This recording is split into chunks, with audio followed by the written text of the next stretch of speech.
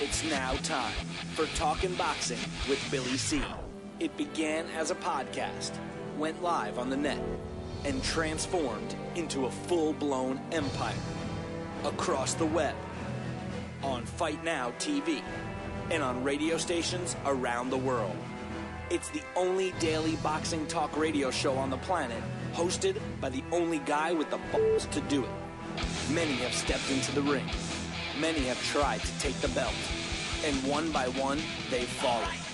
Another victim of the undisputed heavyweight champion of Boxing Talk Radio. Talking Boxing with Billy C is on now. My style is impetuous, my defense is impregnable, and I'm just ferocious. I want your heart.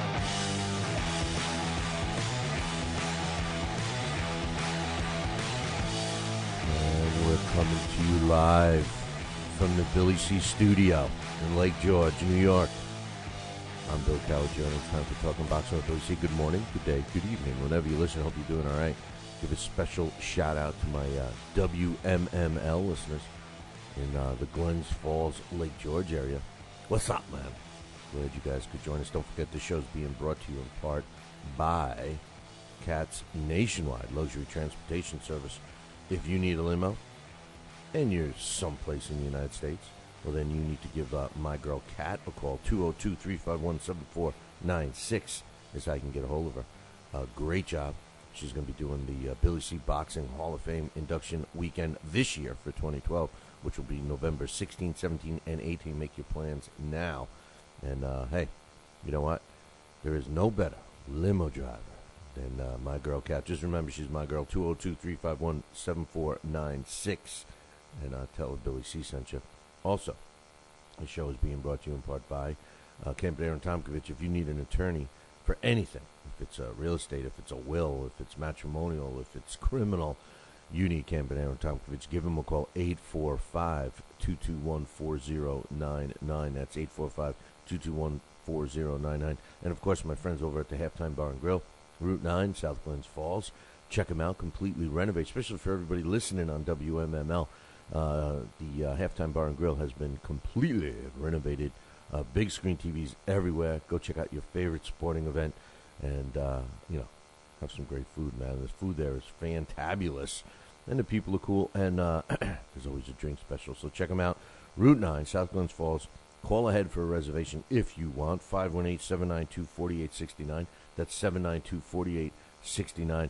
And as is the case with uh, all of my friends that helped the show uh, come to you every single day. Make sure you tell them Billy C sent you. And speaking about Billy C, uh, I mean, uh, speaking about me, I mean, speaking about telling them to to, to send you, tell, telling people I sent you is the Hershey Center on February 11th. No, not the Hershey Chocolate Bar. The Hershey Center in Mississauga, Ontario. There's a great card going on on February 11th, and uh, you got to get tickets for it now. Now, listen, I reached out to the promoter and uh, I said, "Hey, you sure you you, you want to keep the uh, uh, poster up? That's you know giving these tickets away for ten dollars." And uh, haven't gotten anything back, so take advantage of that. You know, might as well, man. Go click the poster up on BillyCBoxing.com and uh, get yourself uh, some tickets. And here's the other thing: if you want a VIP table, and a VIP table's got the best seats in the house, you know, you gotta. I, I tell you, I'll give you, I'll give you a connection. How you do it? You email sales at unitedpromotions.ca. I have no idea how many seats are in a VIP table. I don't know how much, what the cost is. All I know is how you can get one. And tell them that you want uh, Billy C sitting with you. And uh, maybe you can uh, supply me with a friend. You know, I'll, I'll, hang out there. I'll uh, drink all your scotch. I'll, I'll, be the life of the party. Uh, sales at unitedpromotions.ca. Great card on February 11th. Young Guns, man. All the young fighters uh, up in Canada. And, and you hear what I'm saying all the time about uh, Canadian boxers and also uh, uh the UK fighters. They've been carrying the sport on their backs, man. There's no question about that. Um, hey, the other thing is, is uh, uh, I got to tell you what's going on today. That's right. I, got to tell you what's happening. Alex Pierpaoli, our very own star of Family Secret. You know, if you haven't gotten eh, you know, I, I, I talked about that movie so much and then I just assume that you guys pay attention, but I, maybe you don't. You know, our very own Alex Pierpaoli is a star in this movie. Now, now listen. Here's the thing.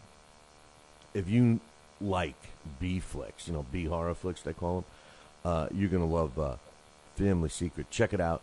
My man Alex is uh, he steals the show. He stars in it, and you can get a signed copy of the DVD uh, of the movie.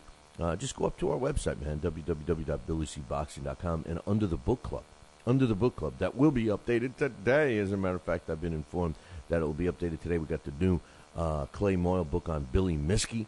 That's going to be up there, and uh, we also have uh, uh, the Ali and Me by Rich Koletsky, who was at the Billy C Boxing Hall of Fame. That'll be up there as well. So check out the Billy C Book Club on BillyCBoxing.com. So uh, speaking of Alex, Alex Pierpaoli will be joining us a little later on the show. He's going to be presenting our blast from the past this week, which is a former world champion and Hall of Famer, uh, Philadelphia Jack O'Brien. He was from Mississippi now. Philly Jack O'Brien. We're going to be talking about him. Uh, the infamous Joe Santoliquito is scheduled to come on, and uh, we're getting ready to uh, uh, have some uh, have some fun, man. Have some fun with today's show. So anyway, don't forget BillyCBoxing.com. Set it as your homepage. You know, we want to make a splash. Uh, we started uh, the website last year. It's only one year old, that website. We started in January of last year, one year. And uh, uh it's come a long way.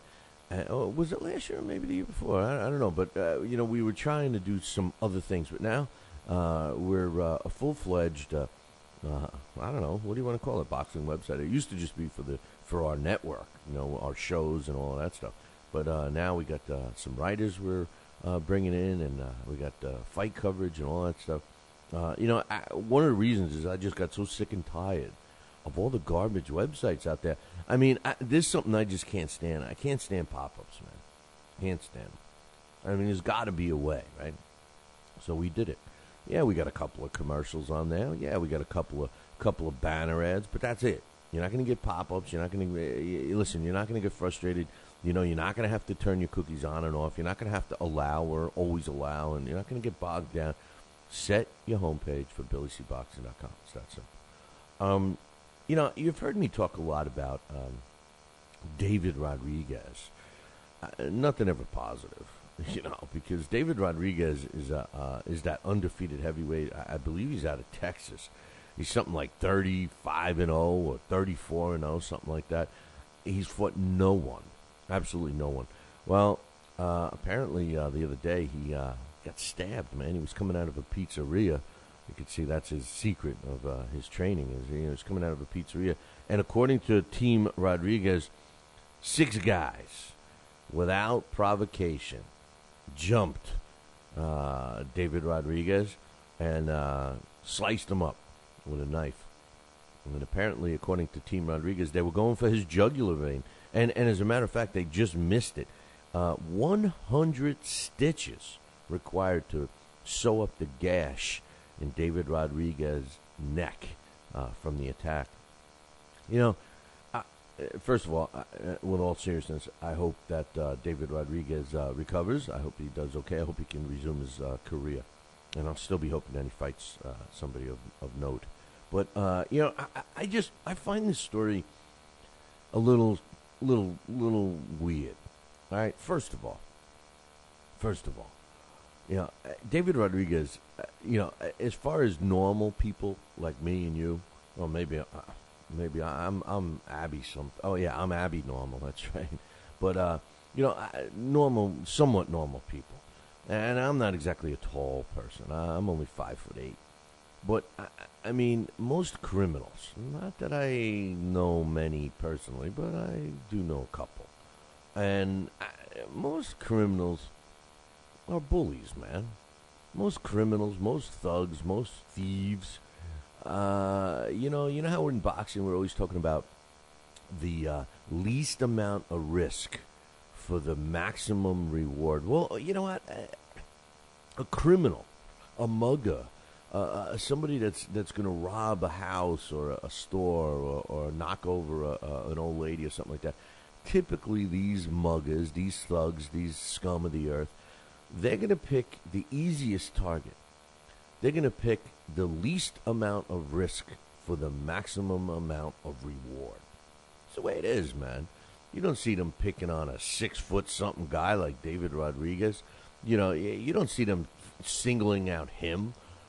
You know, eh, they're out waiting outside of a pizza store. Let's assume they want to rob the guy. Let's assume that uh, you know they're looking to get a, a fix, a drug. I, I don't know, man. Uh, for whatever reason, they're, they're, they're, they're targeting somebody. All right, they're putting a mark on a guy. Right? You're gonna pick a big dude.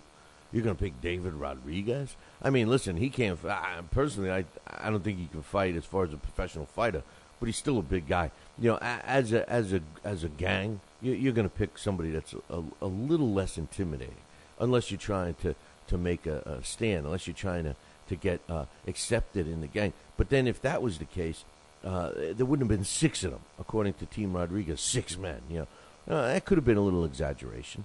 You know, it could have been you know one little short guy with, with a half an arm and a, and a, and a cr- on crutches, and he you know beat the snot out of David Rodriguez, and uh, they wanted to make it sound better. You know, yeah, he's, you know, he came out six guys came at him. You know, I, I got to assume that the story is correct uh, because uh, I, I just am. I just find it strange. You know, without provocation, did he make a comment? Hey, you know, once you once you six guys get a job, you know, and then they attacked him. I don't know. But all I do know is that he was sliced and diced in the neck, missed his jugular vein by half an inch, and uh, he had a hundred stitches to, to patch it up, which is a serious cut, man. That's uh, that's pretty good. So hopefully, uh, he's uh, uh, going to do okay. You know, so maybe he can come back and uh, fight. You know, somebody. But, after Celestino Caballero won his title or successfully defended his title uh, in Japan last week. Uh, he arrived back in uh, Panama, and uh, now he's calling out everybody. You know, he says he wants to unify the title. He wants to fight this guy, that guy, everybody. Uh, he's uh, specifically targeting the winner of uh, Johnny Gonzalez and uh, Elio Rojas. Now, if you recall, Johnny Gonzalez is actually the uh, I guess he's an interim champion, or that's right, he's a WBC. So they they elevated him to a regular champion, and they put the champion in recess champion belt to Elio Rojas. Know, you know, for people, I, I feel, you know, for people that are just tuning in and and you know maybe you're trying to get back into the sport of boxing. I mean, you know, I, I, I hate to say stuff like this because this is what's chases this this is what easy for me to say. This is what chased you away from, from the sport to begin with. You know, I, here I am. Oh yeah, okay, you got the you got the champion. Oh, but don't confuse it with the the regular champion or the champion that's uh, still got a belt because he's in recess and the super champion and the silver and the diamond and the you know I, man uh, this is why people are like you know what maybe maybe uh, it's just too complicated with all these champions but nonetheless Caballero uh, uh wants to uh, uh, unify the titles and damn it he hopes he can and and you know what I hope he does too and I, I, would love to see the Johnny Gonzalez and Celestino Caballero. That'd be a nice fight. Hey, one thing I want to rem- mention before we go to break. He also wants to thank Jeff Mayweather you know, as as critical as I am with the Mayweathers, you never hear me say anything negative about Jeff. That's because I think honestly, Jeff uh, is the best one. You know, he's he's got class, man. You know, as talented of fighters as as Mayweather, you know, the name Mayweather, and and whether you you like Floyd Jr. or not, or whether you like Floyd Sr. or not, whether you like Uncle Raj or not, um, they were all you know very good fighters, especially Floyd Jr. Um, but uh, Jeff, uh, but one thing that they all do share is uh, they're kind of crazy, they're kind of classless, except for Jeff. Jeff's loaded with class, and uh, he's a, he's a great guy. So uh, I don't know about that one. Uh, he's maybe he was maybe they found Jeff Mayweather on a doorstep, maybe something like that. If you're in upstate New York and you need a trucking company, then you need Raselli Enterprises. Raselli Enterprises is trucking at its finest. They have it all. Dump trucks, dump trailers, walk-in floors, flatbeds, flow boys, tankers, loaders, and a full line of roll-off containers for any job, big or small. Raselli Enterprises is also the source for all your sand, gravel, and topsoil needs. Visit them on the web at RaselliTrucking.com or call 315-433-5115. That's 315-433-5115 and tell them Billy C sent you. Are you ready, America? Then let's get it on with Fight Now TV. It's time, fight fans. Your channel has arrived. All the fights, all the names, all the action. From world-class boxing events to mixed martial arts showdowns and other combat sports matchups, Fight Now TV delivers the hits and more. Call your television provider and tell them you want to get it on with Fight Now TV. For more details, go to fightnow.com.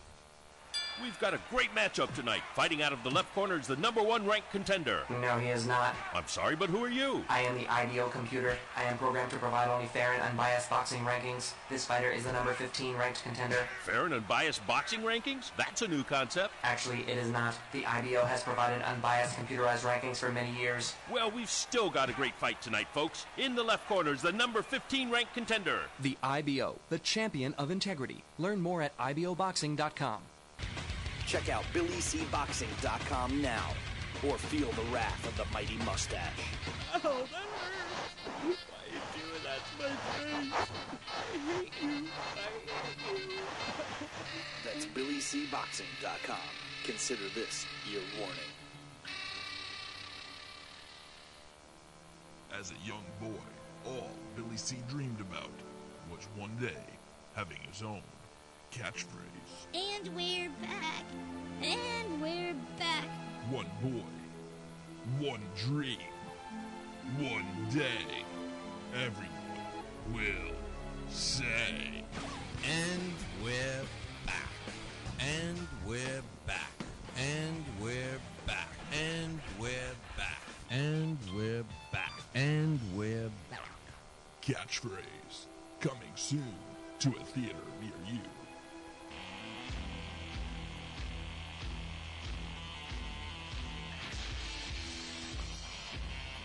And we're back. You are listening to the Talking Boxing Billy C radio show. And uh, don't forget, man, check out the website, www.billycboxing.com. Vote. You know, we got a poll question up there, and I, I kind of want to kind of want to put a new one up, man. And uh, the, the numbers haven't changed uh, uh, that much, unless uh, everybody keeps voting the same. We're going to keep it up for a little bit. You know, uh, we're getting back in the swing. I told everybody I, I've been talking to a few people uh, on the phone about uh, different fights and stuff. You guys know that uh, I'm involved with uh, several fighters, and you know, it's like, yeah, well, when can we get a fight? When are we going to do this? And I said, listen, after this week, things are going to be back to normal. I, I tell you, it's actually happened a little sooner. Uh, you know, yesterday started being a normal day, a normal day in the life. You know? Wait a minute, isn't there a song? Didn't Fab Four do that anyway? Um, don't forget about the mailbags. Keep them coming, man. I love getting mailbags. Drop us an email whenever you want. Billy at Talkin' Boxing. That's T A L K I N B O X I N G dot com. And if you want us to talk about it on the air, just put mailbag uh, or uh, someplace, either in the subject or you know you can write right in the your uh, thought or comment. And it doesn't have to be pro us. You could be telling me uh, you hate me. I'll still read it. So uh, don't forget about our mobile app and uh, join the chat room, the blog, the the go and the don't go and the watching and don't want. You know, I got an email yesterday and said, "Man, great! You know, I didn't even know you had that segment." didn't know I had the segment. I, I say it all, all the time. You know, it's funny. People, you know, I, I think it's when you say it so much that people don't hear it anymore. You know, I, I think that's what it is because, I, you know, I say it all the time. You know, and, and another thing I noticed, premium subscribers, man. They're starting. Eh, you know, people are starting like, oh, I didn't know. You know, I I, I had two pr- new, pre- just two, you know, new premium subscribers yesterday, and I got an email from one of them, and he said, you know, I didn't know this was available. You know, here I was, you know, struggling to get up early to listen, you know, or or stay up late to watch a replay, and and I didn't know I could listen to it on my way to work. I, I didn't know you have a pot. what? You know, so anybody that just you know happens to be listening for yeah, we, we have what they call a premium podcast subscription. You know, you can get a podcast of the show, but it's not every single show. You know, eh, eh, the premium podcast costs you fifteen dollars for the year. We're talking fifteen dollars for the year. You know, I I mean, look, if you can't swing that, I think they do have an option for like four dollars a month or something like that. But it's fifteen dollars a year. You know, and, and you can listen to the show whenever you want. You know, two hours a day, five days a week, plus all the specials, the post-fight shows we do, and all that stuff, and the broadcasts. You know, we're we're doing uh, live broadcasts and what have you, uh, different places uh, around the around the globe, and you get access to all of that for fifteen bucks a year. So I don't know what you're waiting for. Check it out. www. Uh, well, the easiest way right now is www.talkinboxing, T A L K I N B O X I N G dot com, because right on the front page is a there's a uh, link that can let you uh, subscribe right away. But I see my main man, my main man, Alex Pierpaoli, is in the chat room. So uh, hey, if Alex is uh, ready to come on, uh, a little sooner today. He can. All he's got to do is let me know. Hint, hint. But uh, Jackie Nava, the princess, man, the Aztec princess. She's got a record of 25 wins, four losses, three draws. 11 of his W's come by knockout. She's been moved to the uh, main event on a January 28th uh, Zanfer Promotions card. Um, the original main event was uh, scratched, so now uh, Jackie Nava is going to be taking on Chantel Martinez as the main event. The co the new co-main event is for the WBF Flyweight Championship. Felipe Salguero, who's 15-2 and one, uh, will be taking on uh, Carlos Milo at 21-13 and two. I'm sorry, 21 wins, 13 losses, one draw, and two knockouts. Um, FYI, yesterday we were trying to say how uh, uh, improved the WBF is. You know, if they really want to be discussed as a major player in the uh, sanctioning body race, they can't have champions like this, and they certainly can't have world title defenses like this. You know, when you have a guy that's 21, and, and I'm not not listen. There's a like Zach Page happens to have. He's a heavyweight. I know you guys know who he is you know, Zach Page happens to have a losing record, but the guy is a tough guy. I mean, you know, you, you look at who he's lost to. You know, he's lost all these, and he's and he doesn't get knocked out. You know, I, I mean, it's a respectful fight. I'm not knocking the guy in terms of disrespect, but when you're talking about a world championship fight, and and and yesterday we were just saying how the WBF wanted to be regarded as you know uh, a major sanctioning body, and they called it the top four. You know, I, I think there, there's already top five. You know how I feel about the IBO, but uh, you know, how do you how do you say that? And then the next day, there's a press release with your initials on it, the WBF as a championship fight with your champion, who's you know, by the way, only got 18 professional fights under his belt, and he's taking on a guy that's uh, 21 and 13. You know, so uh, IMO. You know, IMO, baby. But uh, anyway, Kel Brook, we all got to see him here in the United States for the first time uh, a couple weeks ago, and uh, uh it was uh, a a pretty decent performance. Um, but he's coming back. Yeah, he's he's going to be back on the 17th, man, March 17th, that is, and he's going to be and in London. So we'll see who he's taking on. I, I, don't know who he's fighting, but you know they're going to announce his opponent soon. He's undefeated in the welterweight division. 26 wins, no losses. 18 of his wins come by knockout. Um, but uh, uh, they're talking about maybe Matthew Hatton. Matthew Hatton maybe uh, uh fighting him. So uh, we'll have to wait and see. Uh, speaking about fights, this weekend there's a pretty big card going on in Germany, and it's going to have a, a, lot of prospects. Now I mentioned Zach Page. Now Zach Page is going to be on that card, as a matter of fact. Um, first of all, there's a couple of uh, guys that I just wanted to mention on the card from Germany. Uh, Robin Krasniqi, who's the uh, uh is going to be uh, uh, taking on I don't know who. Oh no no no! They named him Hakeem Zula, Zuleka, who's 16 and two with eight knockouts, and Robin Krasniqi is 36 wins, two losses with 12 knockouts. it's a light heavyweight European title the WBO's European title. I didn't even know that they had their own uh, European title, but uh, that's who's taken on. Uh, that's the main event uh, on that card this weekend in Germany. But the undercard is filled with some great uh, prospects. I, I, shouldn't say the word great. Uh, some very good prospects that we should keep an eye on. Dennis uh, who I was mentioning earlier in the week, he's 26 wins, one loss, 14 knockouts. he's going to be taking on Tomasz Adamek not that one though. Can you imagine, you know, having two Tomasz Adameks and uh, you know the the uh, the original the real Tomasz Adamek was uh, a light heavyweight. Well, this Tomasz Adamek is a light heavyweight. The other Tomasz Adamek we know is a heavyweight now. But this Tomasz Adamek is 17 wins, five losses, and a draw. He's taking on uh, uh, Francisco Piena, who's 24 and 0 uh, with a draw, 14 knockouts. I, am sorry. I don't know who is. Uh, um, Dennis Simchek is taking on Tomasz Adamek. Francisco Piana, 24 0 with a draw, 14 knockouts. He's a heavyweight. He's the one fighting Zach Page. Uh, very confusing here because uh, I'm uh, uh, a jerk today. But uh, anyway, and Dennis Ronart is going to be taking on uh, Aliski Marchika, who's both of these fighters are undefeated. So we have a, a, a pretty good card happening in in Germany this weekend. So um, speaking about happenings, you know, we got the Box Nation.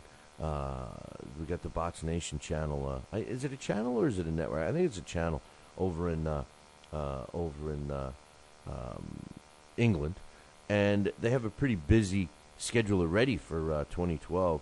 Now, I, I was straightened out by my man David Allen. Uh, I had thought that Box Nation was offered free in England uh, as a promo, you know, as a promotional thing, uh, and then they were going to start charging in January, which is now. Uh, but then I was told that you can actually log on and get it, and it's a service. So I, I'm still not 100% clear on how you can get Box Nation, at least in the UK.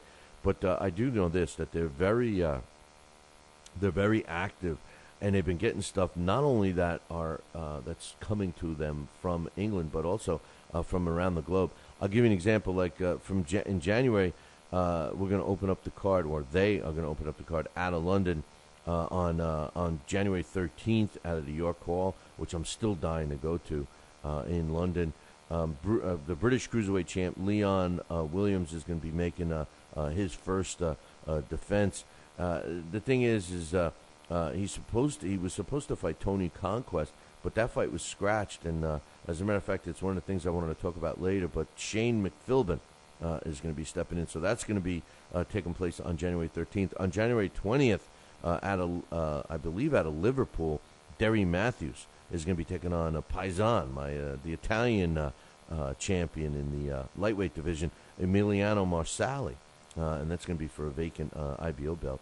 Then uh, you're going to come back to uh, February, and on February 18th, uh, Derek Chisora and Vitaly Klitschko is going to be broadcast. Uh, we also uh, are looking at uh, the 25th of February uh, in Wales. It looks like Nathan Cleverly, and I'm going to get to that one in a minute. He's going to be on, and then in March we got Ricky Burns, my, you know, one of my newly favorite fighters. Man, I, I like Ricky Burns ever since I I slapped around David Allen in the Billy C Challenge, and then uh, Georgie Groves is going to be uh, uh, fighting as well in March. So I, they got a pretty solid lineup there uh, for the first couple of months uh, of the year. So uh, uh, I'm looking forward to that. And speaking of uh, the Billy C Challenge, you know Simon Bosinister is still MIA, man. So I don't know what's going on. What I will do is this: I anybody that's involved with the challenge, just make sure that you email me your picks this week after I give them out tomorrow, uh, and then uh, should we hear from Simon Bosinister, uh, we will uh, let him update those so that they're all in, in place. So uh, if we don't hear from him, we got to assume that he's no longer dealing with this. So uh, uh, hopefully that's not the case. But anyway, hey, listen, I'm going to take a short break. When I come back, maybe we'll even have Alex Pierpaoli with us. Who knows? Are you ready, America?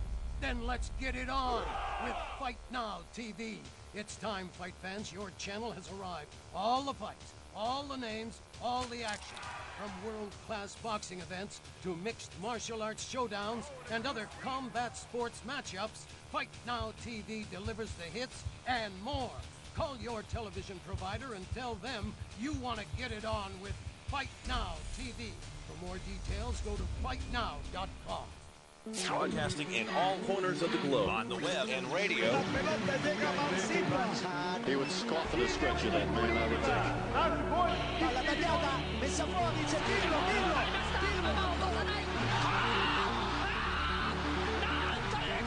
You're listening to Talking Boxing with Billy C. From upstate New York in the good old US of A.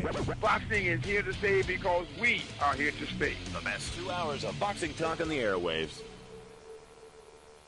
Hey, fight fans, check out KOFantasyBoxing.com. KO Fantasy Boxing is boxing's only trademarked fantasy game.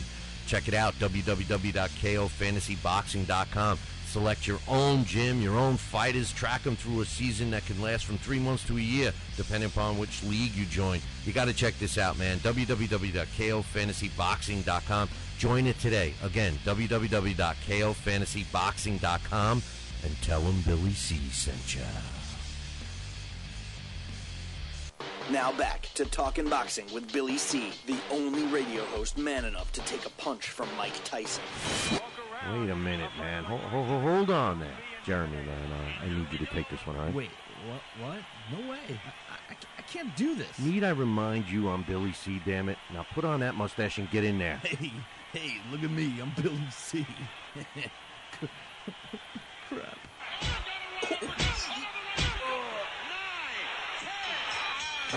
The undisputed heavyweight champion of Boxing Talk Radio. It's Talking Boxing with Billy C. Test one, two. Test one, two. My fellow Americans, good evening. Welcome back to Talking Boxing with Billy C. It's great to be here discussing the sweet science with everybody. I love boxing. I love talking boxing. It's what I do. Um, Bill. Oh, uh, wait, what, Bill. what? Why are you Yeah, interrupting um, me? What? wrong, wrong. What's the wrong problem? Billy What? C. I did not have. we're, gonna- we're gonna have to ask you Wrong to speech. leave- What do you mean wrong, Billy C? What's going on here? Fine, I'll go. I just wanted to talk some boxing on TPS TPSradio.net. That's all I wanted to do. I don't need your damn show. I'll get my own talking wrestling with the other Billy C. Yeah, that sounds good. I've always been a Hulkamaniac anyway. Broadcasting live, brother. Welcome back to Talking Boxing with Billy C on the mighty TPSRadio.net, brother. What you gonna do, brother?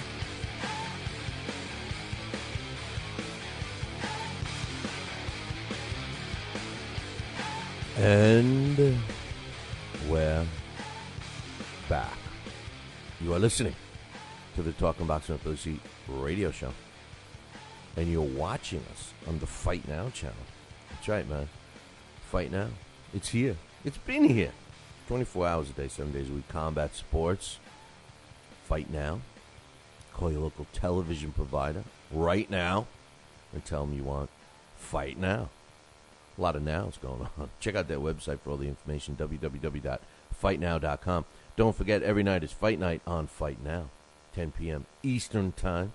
You get a new fight, uh, and uh, can check it out. That's why I want you to check out their website, www.fightnow.com, for all the information about the site.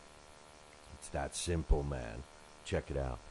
Another thing I want to check out is, uh, you know, speaking of uh, channels, speaking of quality television channels, I only look at Fight Now because it's only it's only fights, man. It's only it's, it's the one I want. But uh, how about ESPN? Know, Friday Night Fights kicks off this week, couple days, and uh, you know I, I, Brian Kenny. You know, I, I never really cared much for Brian Kenny uh, as a, as a boxing guy. I, yeah, I, I was. A lot of people think he knew a lot about boxing. I didn't, but uh, uh, the only thing I didn't like about him and, and I guess you could look at it. I guess you could look at it a couple different ways, but you know, he seemed pompous to me. You know, like you know, he thought who he was. He thought he was better than everybody else. You know, he just seemed like the kind of guy you want to punch in the face. Now, now the thing is, is that Brian Kenny actually was from. I, it seems like you know, uh, well, we follow different paths. He's making all kinds of money, and uh, uh, I'm not. But uh, but the bottom line is this: you know, he's from the same place in Long Island I'm from, Levittown. Uh, he went. His first gig uh, ended up uh, near Poughkeepsie, New York.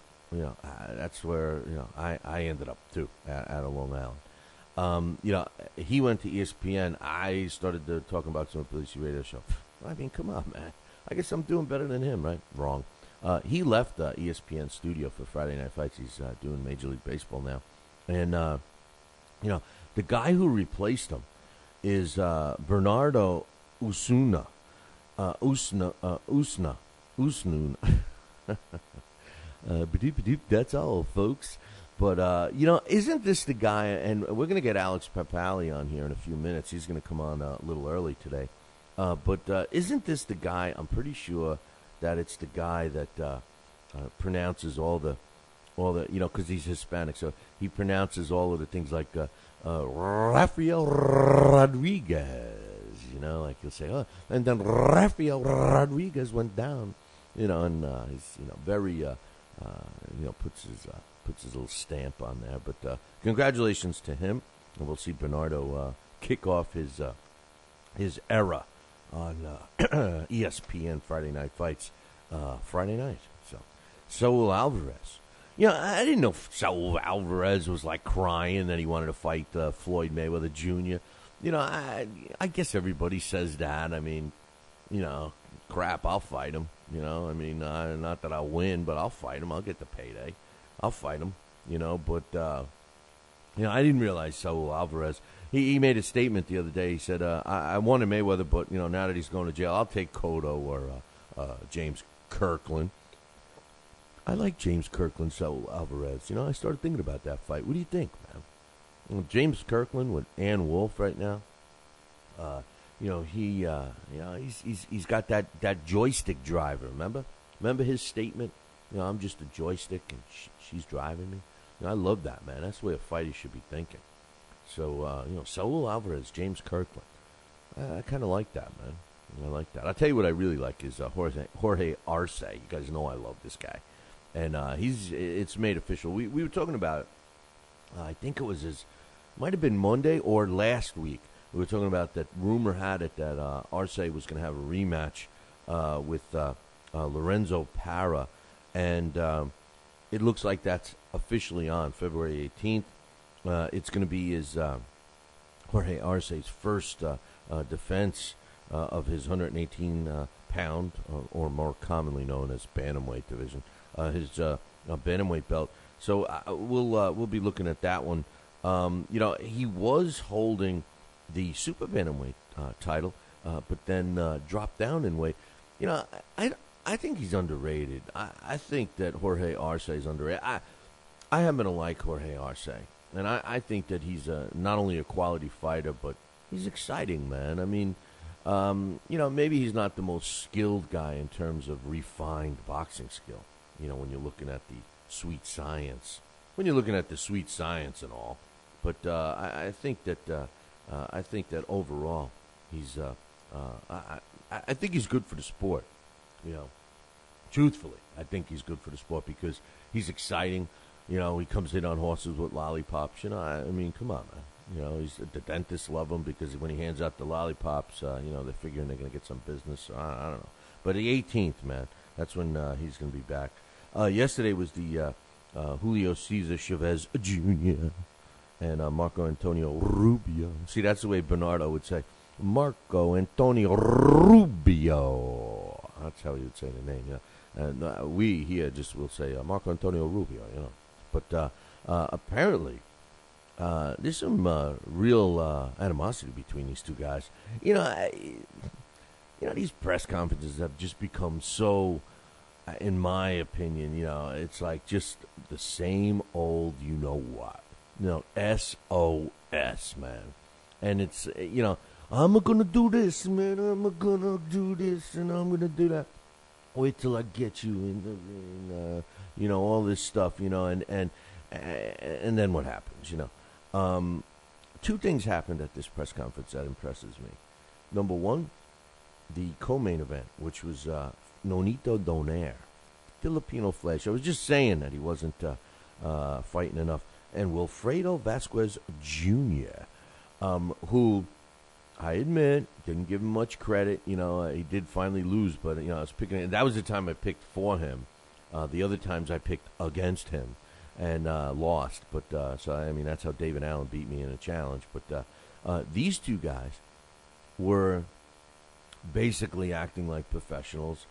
You know, waving, shaking, saying, "I'm going to win." The other one says, "I'm going to win." They shake their hands, they smiled in the camera, and they went on their merry way. Chavez and Rubio didn't even want to look at each other. Now you remember Rubio uh, was in the news a lot, saying that uh, Chavez Jr.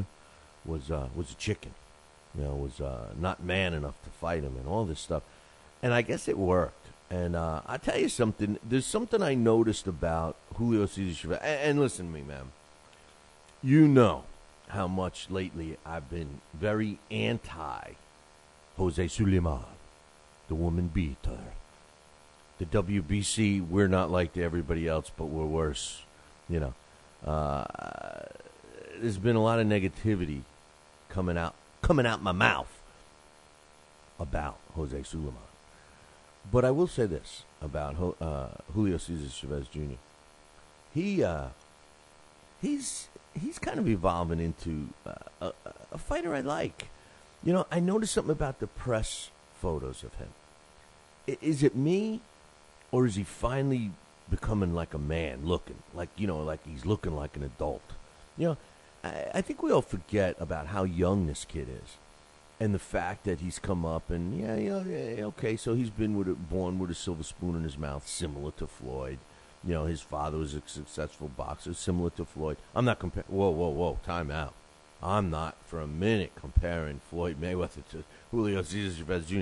That- let's not even let's not even make that assumption. So, especially for all the YouTube, you know, I have all these YouTube people that uh, you know everything we say, you know, the, the YouTube viewers uh, uh, dissect it. They, you said that he was he wasn't a knockout puncher. He's got 18 knockouts. Yeah, okay. Well, you know, I don't count, uh, you know, Christopher the cab driver or uh, you know Benny the bartender. I, I I don't count those knockouts as as being a guy that you know has has great knockout power. But nonetheless, percentages are percentages. But but you know Chavez Jr. Um, you know started out a little slow. Uh, we were all very critical of his talent or lack of, and all of a sudden now he, he seems to you know be be be getting it. You know he, he's starting to. And, and maybe it's behind the tutelage of Freddie Roach. I would like to think so, but you know, uh, systematically they're, they're learning stuff. You know, like uh, he he perfected the body shot. They're working on a little head movement now. Uh, you know, he's he's he's gonna uh, introduce a, a jab eventually. You know, and and uh, you know, he's coming along. And the final piece of the puzzle was his body. I think. You know, we all know that he's big and and he's having a hard time making weight and everything else. But when I was looking at the when I was really looking closely at the press uh, photos yesterday, um, you know, he he's got this manly look all of a sudden that he didn't have. He had the boyish face, and you know, uh, it's easy to be critical, but all of a sudden he's he's looking like a man, and he's looking pretty serious. And uh, you know, I'm looking at uh, Marco Antonio Rubio, as Bernardo would say. Uh, you know, uh, as a guy that's starting to look weathered. You know, and six months ago when we first started talking about this fight, you know, or or the fact that we we we thought that Chavez was kind of you know side, you know, dancing around uh, Marco Antonio Rubio. Um, now it, the, the tables seem a little turned, man. So uh, uh, we'll have to wait and see. I, I'm looking forward to that. I think it's going to be a good fight, and I think it's going to be a, a really good test for uh, Julio Cesar Chavez Jr. and a really great opportunity for Marco Antonio Rubio. I mean, let's face it, he's done uh, everything uh, uh, correct. That's for sure. Nathan Cleverly, a guy that I wanted to see fight Bernard Hopkins so bad, but uh, Bernard Hopkins isn't going to fight him. Nah, Bernard Hopkins. Uh, don't get me. There'll be plenty of time for me to bash B B Plop. Uh, that's my new name for Bernard Hopkins. You know, he refers to himself as B Hop. Other people refer to him as B Hop. I refer to him as B Plop because plop in the toilet. That's what I think of him. You know, I'm substituting plop for a different word, but it rhymes with hop, so it's B. Uh, okay, you got it. But uh, Nathan Cleverly, February 25th in Wales. Now, I wanted to see him fight B Plop. That didn't happen. Uh, Beibut Shumenov was another fighter, and and you know a lot of discussion between uh, possible a possible fight between Beibut Shumenov and uh, Nathan Cleverly, and that was an intriguing fight. Two young fighters, you know, two young fighters going at it. I mean, uh, you know, how much uh, how much better can you get than that? You know, so I mean, you know, that's what uh, that's what I was looking for forward to. Uh, but Nene, apparently uh, Nathan Cleverly is fighting on February 25th in Wales, not against anyone other than Tommy Karpency. And Tommy Karpency is um, not a bad fighter, but he's definitely not Beibut Shumenov. I think it's a safe defense. It's an American fighter, a guy that's going to go some rounds, and it's a it's a good step up fight for uh, uh, Nathan Cleverly. It's going to be taking place February 25th in Wales.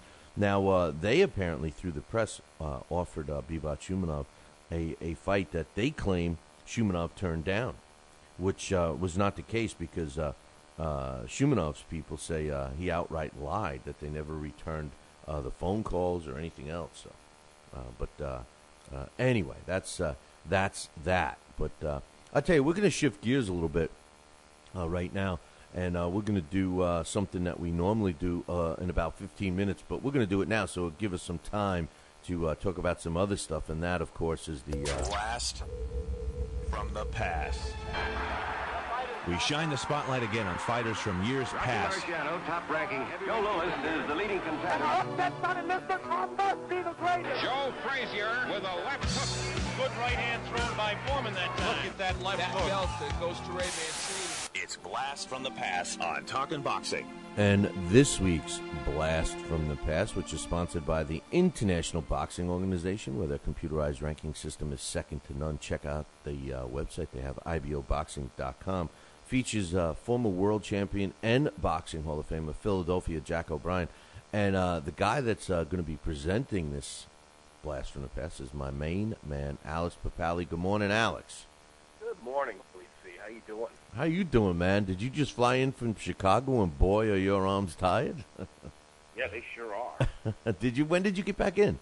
I got back uh, Monday evening. Oh, okay. I, for some reason, I thought you were coming in uh, like last night, late. You know, but uh, uh, so everything went good. The the nephew is doing good. Mom and dad doing good. Well, Yeah, yeah, it was a great trip. Uh, a lot of fun. Um, brought in the new year over there. Um, it's kind of strange um, feeling uh, bringing in the new year in the uh, central time zone. You know, they're still kind of focused on New York. You know, you can't really help it.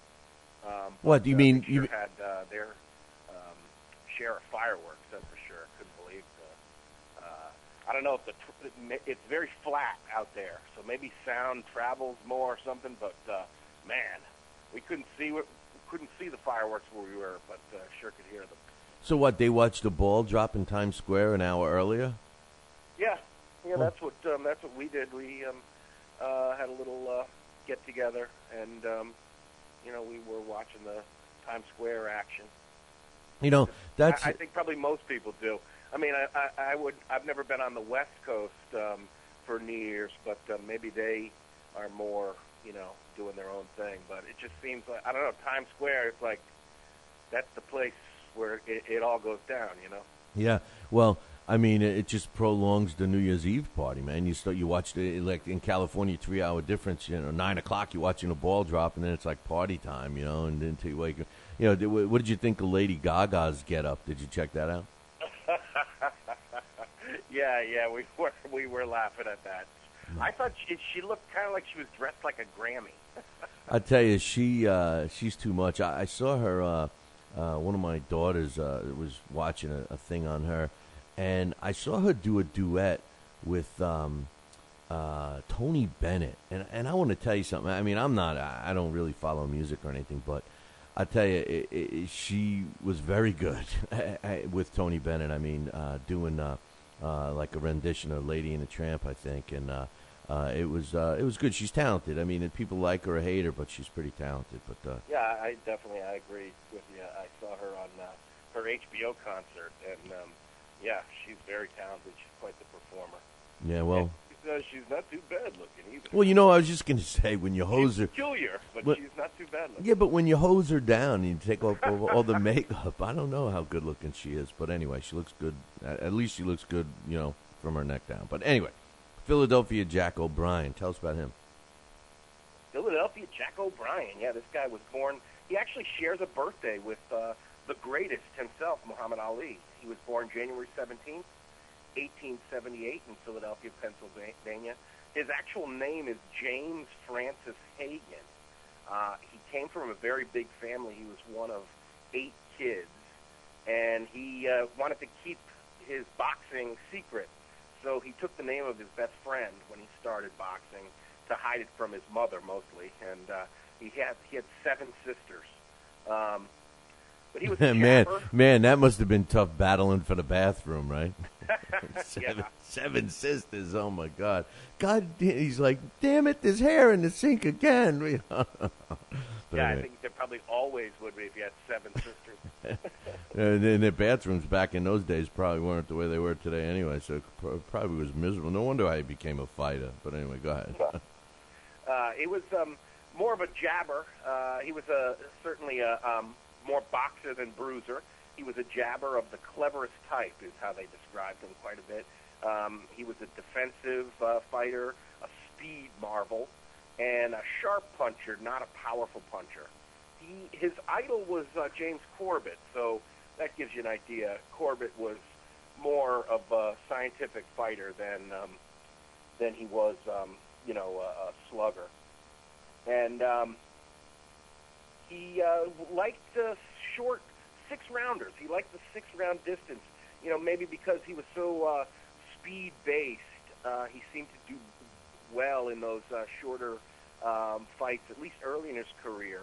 And he eventually actually went overseas. He he was an interesting guy in that he he really marketed himself well, and he realized that there was uh, a market for what he was doing. You know, his type of boxing uh, over in the UK, and he did. He um, picked up some defensive skills overseas. He he took the show on the road over there in 1901, and he had 18 fights in the UK and one in Nice, France, and he did very well. He won four by DQ, but the rest he won all by stoppage. And um, yeah, he was uh, the the light heavyweight title was he, he was able to move up and down in weight, and between middleweight and heavyweight there was quite a gap. Um, in 1903, however, Jack Root's manager um, basically it seemed that he created the division, and uh, within two years, that's where Philadelphia Jack O'Brien um, found some success and became the uh, light heavyweight champion by uh, defeating Bob Fitzsimmons in a really good fight. You know, it, it's funny you, you bring up uh, uh, about him going to England. He couldn't get fights here, you know, and, and he ended up uh, self promoting himself and doing pretty well in England. And you know, although we know him uh, pretty much as a lightweight, a light heavyweight, uh, I, I mean, he started as a lightweight. I'm sorry, and, and moved up to middleweight, and then we, we kind of know him as a light heavyweight at, at this time. Um, in uh, one nine month period, he fought 30 times and uh, was fighting guys in that nine month period like Tommy Ryan, Joe Walcott, Joe Choynski, Kid McCoy. I mean, uh, he also fought uh, Jack Johnson. I mean, this guy, uh, you know, we f- we find ourselves saying this all the time, but he really did fight everyone and uh, several times. Yeah, and one thing that, um, and this this was the uh, Jim Crow age, and a lot of fighters drew the color line, but um, you know, and, and, a, and a white fighter just could avoid the, some of the best black fighters of the day if they just didn't want to fight them. And uh, you know, the managers, promoters would oblige them because they're always in some places the fights, mixed race bouts were illegal, and in others, promoters were just afraid to um, to stage them because of potential crowd reaction. But uh, Philadelphia Jack O'Brien was not um, a fighter who drew the color line at all. He fought um, quite a few of the best black fighters of the age. He fought Jack Blackburn. He fought Barbados Joe Walcott. He fought Bobby Dobbs. He fought um, Frank Craig, the coffee cooler. He fought um, George Cole, and he even was defeated by young Peter Jackson, a guy who we did um, a blast from the past on. And he actually even um, lost to uh, Sam Langford, who he fought um, when he was probably uh, way past his prime and probably shouldn't have been in the ring any longer. And he actually had a um, in the books. There's a uh, ex- ex- exhibition, a three-round exhibition. It was just sounds like it was mainly for fun, but it was with um, the great Jack Johnson himself. Yeah, well, um, he also fought uh, Jim Driscoll, beat him, and uh, had a uh, uh a fight, a newspaper decision. Anyway, it was a draw against Marvin Hart, who eventually uh, uh, fought for the title, the world heavyweight title. He had an interesting belt, and I don't know if you caught this. I'm sure you did, but in 1903, um, he fought. was it in 1903? Yeah, he fought Jack Twin Sullivan, and won the and, and, and I found this interesting. The 158 pound, it was it was defined as the 158 pound world middleweight title, which I found kind of kind of amazing. And, and, and he fought um, uh, J- uh, Jack Twin Sullivan again uh, with that title on the line. And then uh, they they have it him being that middleweight champion, 158 pound champion, all the way until uh, he ended up losing that title uh, to uh, Hugo Kelly in 1905.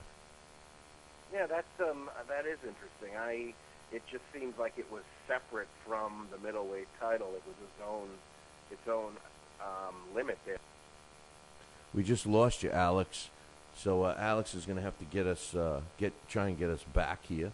Uh, we, uh, you know, uh, of course, we, we're going to have some issues with the with the friggin' phone system. But uh, he also there was another interesting thing. There was they were calling the light heavyweight. Um, now the world light heavyweight title was he won against Bob Fitzsimmons, but um, you know they they had that at a, weird weight as well. I think that one was like a 178 too. Uh, do I got you back? I'm back. Yeah, I don't know what that was, but uh, but yeah, they they because even when he won the the, the light heavyweight uh, title against Bob Fitzsimmons, it, it was like a weird number. I, I think it was 178 as well. Huh. Yeah. It um it it was interesting because it did seem like um he did. It, it would have been interesting if he had fought in it today because uh, or even you know within the last 20, 30 years to see how many titles the guy would have picked up because yeah his career it seems like he um, fought between uh, you know like 150 and and 178 one uh, even up to 180 at times so uh, it would have been interesting to see uh, what division he would have been you know most comfortable at in uh, in the modern era Well, he held the uh, light heavyweight title for seven years. An interesting fact: he uh, fought and beat uh, Bob Fitzsimmons in 1905, like we mentioned, and then held the title for seven years. But he never defended it once in those seven years. He also fought for the world heavyweight title. Uh, he had uh, uh, his career record was 93 wins, 56 of them coming by knockout. He had 10 losses. He was stopped five of those 10 times. He had 13 draws. He also had 52 newspaper decision wins, only seven losses and 12 draws. 1,203 rounds as a professional with a little over 30% KO ratio. Was kind of tall at five foot ten, considering uh, ten and a half, considering the weight class he was in. Uh, and he died at a rel- relatively young age in 1942 at uh, 64. Uh, former uh, world middleweight, light heavyweight champion, world heavyweight title challenger, boxing Hall of Famer, Philadelphia Jack O'Brien, and uh, we just lost my man Alex again. And uh, Alex, you're going to have to uh, give me a shout back. I apologize for that, but you know what? We're going to take a break, and when we come back, we'll be uh, talking to Alex about uh, uh, some other stuff. So we'll be right back. Talkin' Boxing with Billy C now has official merchandise available on TalkinBoxing.com. T-shirts, sweatshirts, hoodies, and mugs. And yes, even undergarments. Talkin' Boxing apparel is the perfect gift for the boxing fan in your life. Log on to www.talkinboxing.com. That's T-A-L-K-I-N-B-O-X-I-N-G dot com. And place your order today.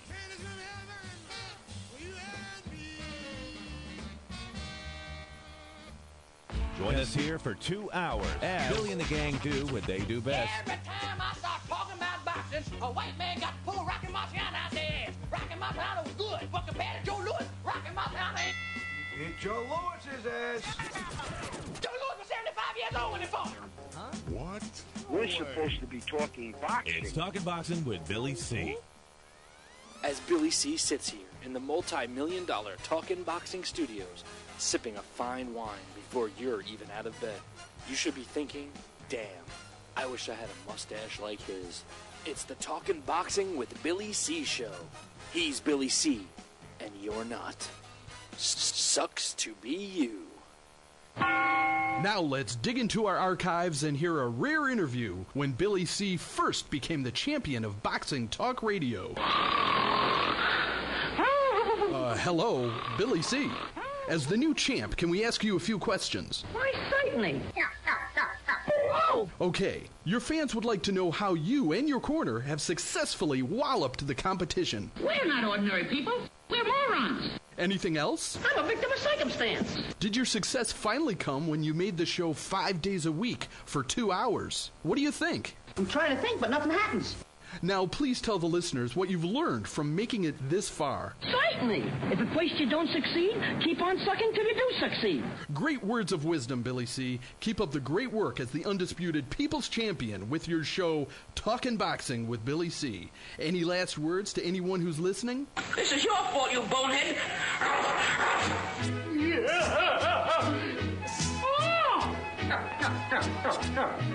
Ah!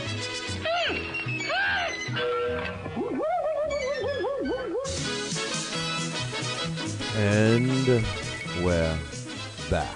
You're listening to the Talking Box on PC Radio Show. You're watching us on the Fight Now channel. That's right, Fight Now, 24 hours a day, seven days a week. Combat sports. It's here right now.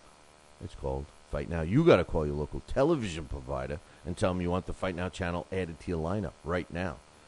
Give them a call. Do it. Go ahead.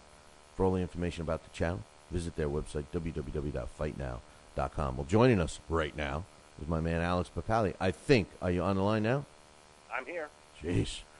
We're uh, we're getting killed. Well, I thought, what are you over Scotty's house today? what are you? What, do you, what, do you, what did you? What did you sleep? over? Did you have a sleepover over Scotty's or what, man? But uh, what'd you think of the Jermaine Taylor fight? I thought um, he looked all right. Uh, you know, I was encouraged that he seemed to want to look impressive. Um, I thought the jab looked good. Um, I thought what uh, the Beast, what was uh, Hope, Holcomb? Nicklow, Nicklow. Um, what Nicklow's corner was telling him was absolutely right about um, Overhand firing right. that left hook, you know, the check hook uh, off. When Taylor throws that jab, he pulls his right hand back. Um, and he kept doing it all night. But Nicklow was just too small and too, he didn't have the speed and the distance um, to make him pay for that with the check hook. Uh, you know, They told know. him. They told him that they told him to use the overhand right too, and as soon as he threw it, it landed. Yeah, you know, uh, I, I I was surprised that Nicklow had some success, but he just wasn't able to sustain everything, anything. Um, you know, but I did think that part of that was because, you know, uh, all credit to Jermaine Taylor. He um, he kept a good pace and he kept a good jab in, in the face of Nicklow, and um, and I think that um, you know he, he looked decent. Uh, I don't know how much it really tells us about what he has left and what's going to happen down the line. And what I, my most concern is is for you know his um, the condition of his uh, of his head. You know, I mean, if from what they said, you know, he he did flunk a CAT scan, I guess, at some point. So uh, I don't know. Um, to me, that's very uh, concerning. But uh, you know, he um, he he did entertain that question to some degree with Steve Farhood at the end. Uh, and he, he said he felt okay. You know, I, I don't know. I, I don't know what to say in a situation like that. I mean, you're not going to feel something uh, like that. It, it's just going to sneak up on you, I would think. But you know, he certainly wasn't in there with a guy that uh, could make him pay. Yeah, no, Nicklow is uh, was is not known for his power, but he's definitely a tough kid. What'd you think of the stoppage? It was kind of strange, wasn't it? Yeah, um, we. I have to admit, we we kind of fast forwarded a bit because um, uh, we couldn't believe how late it was. And uh, I tell you, as cute as um, as little Lucas is, he does take a lot out of you. So uh, by the time that fight, you know, we had watched the other two, uh, and uh, by the time that fight was, um, you know, winding down, we kind of fast forwarded a bit. Uh, so I actually missed the moment. I heard him talking about it, but we missed the moment where he um, where he, he lost the point. I, what happened? He he got he said he got upset and and what he threw a punch at Nicklow after the bell. yeah, uh, the bell had sounded, and and the referee was standing in between them, and it was like you know turning them around. You know how they kind of like turn them around to face their their corner as they uh, was supposed to walk back to their respective corners. And right at that point, Taylor just reached around and punched uh, uh, in the face, and, and immediately the referee took a point away uh, for an intentional uh, punch after the bell. And, and like Farhood said, you know, they, they could have easily have taken two points away or even disqualified him, which uh, and and even uh, uh, Burns, uh, which is Taylor's trainer, said, "Hey, good call, ref, good call." Eh, you know, because he knew that it was, you know, they better they better t- count their blessings that he just didn't get DQ'd. It, it was Ill- illegal and everything else, but the stoppage itself um, was kind of strange because uh, it did look like t- Taylor stunned um, Nicklow a, a, a, a bit. And then Nicklow kind of went back, didn't stagger back, but went back against the ropes and covered up, and and uh, you know was uh, looked like he was anticipating a, a, barrage that was surely on its way. and the referee stopped, jumped in and stopped it, like just before that barrage came. And and you know he might have seen that or, or thought that Nicklow was uh, uh, in much more trouble than than he appeared to be, at least on television. Yeah, and I and I think that we kind of saw that in the first fight too in show on the on the Showtime card, where it was almost as if um, the uh, fighter who was winning didn't have quite enough power or quite enough didn't land just the right combination to put the guy out, but it was almost like, um, boy, let's get this fight over with. And it, it almost seemed like in that case the ref, the ref was the ref obliged him, you know, uh, and said, yeah, let's stop it. But you know, he definitely was hurt, but uh, he had he had been stunned slightly, not as bad as that, but he had been stunned earlier, and. Uh, I don't know. I mean, I think in a case like that, if the guy's not getting pounded, um, there's it's there's something important. A fighter should be able to know how to finish a guy, and if Jermaine Taylor, to me, I, I mean that's very interesting that he he obviously was getting frustrated. If he hit him after the bell, then um, it must have been bothering him too. That uh, here it is, the rounds keep ticking by, and I can't get this guy out of here, even though I'm winning every round. Um, you know, he's I'm not I'm not knocking the guy out. So maybe um, in that sense, yeah, it's too bad that the ref stopped it because um, uh, you know that that's the only time you're going to learn something is if uh, you know you have an opponent who oh you can't this guy's not going to go quietly, so I got to figure out a way to knock him out.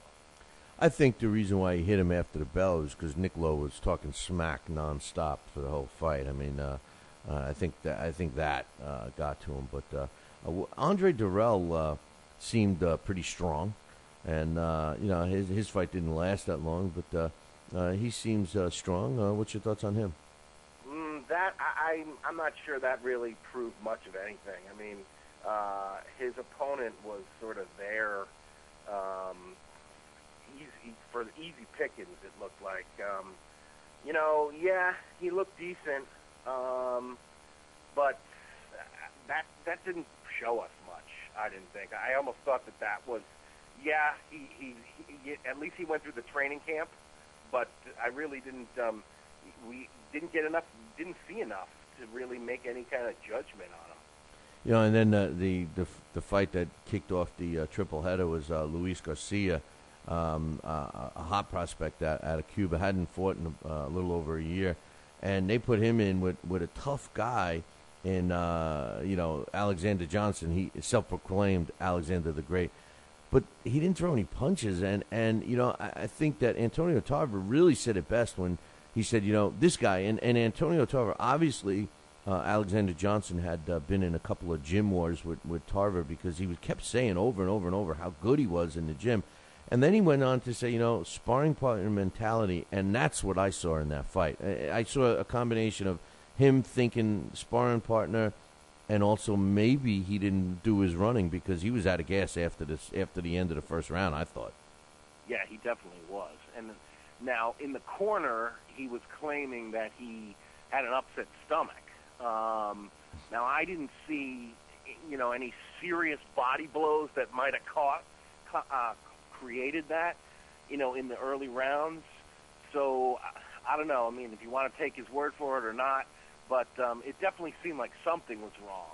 Um, and Yeah. the way Tarver kept talking about, you know, talking about him and praising him, then you know maybe we were seeing, you know, a sort of anomaly. I mean, he was going in there with an undefeated record, or did he have? What did he have? One draw, I think, going into that fight. Um, and uh, he, he definitely fought as if there was something wrong. He j- it was a non-effort really, and he did seem I mean, he was gassed out. But um, and, and like I was saying about Jermaine Taylor, unfortunately, Luis Garcia could not. I'm not sure how hot a prospect we should really think of him. Uh, he couldn't get the guy out of there. Yeah, but you know what it you know what it is, and and uh, coach is uh, making a good point. He says uh, Johnson was overrated, and he expected more from Garcia, and I, and I agree 100. percent But you know what I think it was, and Tarver again made the made the uh, correct statement during the broadcast. He said that some of the problem these Cuban fighters have because of their extensive uh, amateur career, it's hard to make that transition from amateur to pro.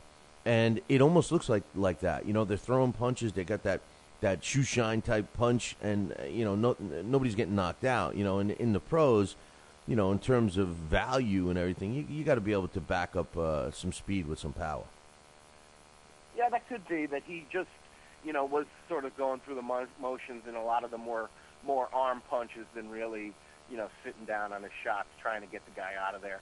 That that yeah, that's a good point. That that could be the case because um, it definitely seemed like, um, you know, there there wasn't a lot of mustard on him, and that uh, with um, what Johnson was showing him, I, I would have thought that maybe if he put some more pressure on him, at least you know the goal uh, would be to get him out of there. You know, especially when you got a nice, um, you know, uh, you're you're on Showtime. I mean, you know, you're you're kicking off the night um, in the first bout of the night, and you just sort of coast to a decision. I don't know. Uh, it would have been nicer to see him try to uh, to whack Johnson out, but um, you know, maybe those are maybe, maybe that is what was going on. It's just he's still green enough that. Uh, you know, transitioning to the uh, the big boys in the you know pro pro prize fighting is a big difference. Difference. I, I know you and I discussed the uh, Kelly Pavlik ATV incident, and uh, a lot of discussion. Speaking of Kelly Pavlik, is uh, the possibility that Jermaine Taylor and uh, Kelly Pavlik will get it on for a third time, and um, you know, I, to tell you the truth, I kind of like that. I, I think it's a it would be a good fight. I think it would be a sellable fight, and I think that the winner moves on, the loser hangs them up. Uh, what's your thoughts? Um, hmm. yeah, I guess uh, it, it certainly has the feel of a cash out fight, uh, especially if Kelly Pavlik was going to go right into that. Um, hmm. He's, hey, he's out of options, Alex. I mean, think about it. He's burned all those bridges you know, he doesn't. Uh, not that I thought that Jack Loew was, uh, uh, you know, a fantastic trainer or anything like that, but that's out of the picture. He's being basically, uh, you know, shuffled out of Youngstown. He, he's claiming he's moving to California. He he he definitely hurt his relationship with uh, with Showtime. He's he strained his relationship with Top Rank. I mean, you know, this guy's lucky if he. I mean you know, I'm thinking uh, he would return as an ESPN fighter, maybe. But if he all of a sudden he gets an opportunity uh, to fight Jermaine Taylor, and, and obviously Taylor's got uh, some connections with with uh, the bigger uh, networks, maybe this is a way for him to make some money. Yeah, I, I think it probably is a decent money fight for both guys. Um, I think in terms of a winnable fight for Pel- Kelly Pavlik, uh, as much as psychologically you, you'd have to give him the edge. Um, I'm not sure if uh, he can win it all that easily. Um, I mean, I think that uh, he his last the guy who he's who he last was in the ring. The only time he was in the ring this year was against Alfonso Lopez, who fights Friday night uh, on ESPN two. And it's not that he struggled with the guy, but he certainly didn't look sensational. Um, and I think you know Pavlik is coming. I mean uh, Taylor's coming off two knock knockout losses and that Nicklow fight. Um, hmm. Yeah, I, I guess it is an interesting matchup. Um, there's certain, I guess, if it's a ten rounder, that's it's yeah, it's an interesting fight to watch. But what exactly is there? Yeah, I, I, I guess as you said, it's either um, you know a make or break type thing. The winner moves on, and uh, the loser goes home. the loser heads to the bar. yeah. But uh, you know, at the beginning of the show, I was talking about uh, uh, Chavez uh, Jr. and Marco Antonio Rubio, and I still haven't heard an official announcement from the WBC retracting their their uh, uh, statement to the press that they are not sanctioning this fight and blah blah blah. I don't know if they kiss and made up yet or not, but the press conference officially said it was for a world title. And that's the only title that he has, so I'm assuming they uh, patch things up. But you know, I, I'm I'm noticing a change, a physical change in, in Julio Cesar Chavez Jr. And I think it's for the better. I, I think he's he's not the, the kid anymore. I think he's turning into a young man, and uh, I think his his I, I think his demeanor is reflecting of how he's improving as a fighter. What do you think? I, I do like how he looked against Pete Manfredo, um, and I and I do think that the uh, the Rubio fight if that does um, get you know it becomes official. Uh, I, I I like that fight, and I do think that um, I think the both guys have a legitimate shot. I think Marco Antonio, Antonio Rubio, we're going to see a better Rubio um, going forward now. I, I think that he had, uh, I think that he's always been a guy who has a lot of um, skills, and he is one of those guys that, uh, you know, looking for the right opportunity, and I think he got it with Lemieux. And I think sometimes the guy uh, fighters will capitalize on that. I think he's the kind of guy that should. Um, you know, and I and I think that the, a fight against Chavez Jr. Jr. is winnable, but the question will be, does Chavez Jr. have more tools and and in, has more skills that he can get better overall? You know, and uh, I kind of would lean at, towards that, especially with Freddie Roach in the corner as well. Um, but uh, I definitely like Rubio as you know he's a very live underdog. I think in that fight. Yeah, he's uh, he's definitely not had an easy road. And in his last fight, it seemed like he was just going through the motions, and even won that one with a knockout. This is a guy that seems to have uh, uh, found himself, refound himself, I should say, uh, after the upset win over David Lemieux. So I, I think he's a different fighter, a different mindset, and I, I think the matchup is going to be good. I, I really yeah, do. And, I think that that's the kind of thing that he, I'm sure he's been waiting for. I mean, that's a big stage against the Chavez Jr. Um, so, you know, it'll be nice to see somebody like Rubio. You know, he's a classy guy. It would be nice to see somebody like that, um, you know, make um, make the most of it. You know, um, speaking of uh, classy, let's talk about no class, and, and that's, in my opinion, uh, B plop. And uh, you know, he's talking about, uh, he, you know, he's talking about wanting to fight a, a couple of more times, you know, and and and you know, still trying to, uh, uh, you know, get that big money fight, and still trying to convince people that you know. Uh, there are people out there that, that care about watching him fight, and I'm not knocking his accomplishments or anything. I, I just think he's run his course. That's all. But in the light heavyweight division, we have Nathan Cleverly, we have Beibut Shumenov. We thought that those two guys were going to go at it, and uh, it was announced uh, uh, that Nathan Cleverly uh, he said that that Beibut Shumenov turned down a fight. Team Shumenov said that's not true. They're lying, and instead uh, they just uh, announced that uh, Cleverly's fighting in, in February February 25th uh, against uh, uh, a guy that's uh, not a bad fighter, but uh, certainly not uh, a Beibut Shumenov in, in Tommy Karpency. What do you think about these three fighters, the Cleverly, uh, Beibut, and, and of course uh, uh, Bernard Hopkins? I mean, uh, do you think uh, any of these guys are going to meet each other? Well, I am one guy who would like to see Hopkins Dawson too. Um, I, I think that unfortunately, um, with the way the California uh, State Athletic Commission ruled, you kind of have to have a rematch. Um, that uh, you know, by making it a no contest, um, I think you know there's still unfinished business there. Um, and I think I'd like to see it. Uh, you know, if, if it's on ESPN, that's fine with me. But uh, uh, you know, it certainly shouldn't be a pay-per-view. In terms of Cleverly or Shumenov, um, it's too bad that they're not fighting each other. Uh, yeah, because that would have you know given us more. Just like we we found out at um, super middleweight, you know, when you have the guys, the top guys fight each other, these and they they're some of these best guys in these divisions only fight two, maybe three times a year. Well, if they fight in a sort of just a warm-up type fight where they're completely overmatched or, or undermatched, I'm not sure how to how you would say that, where they're you know so so much the uh, under, they're so favored.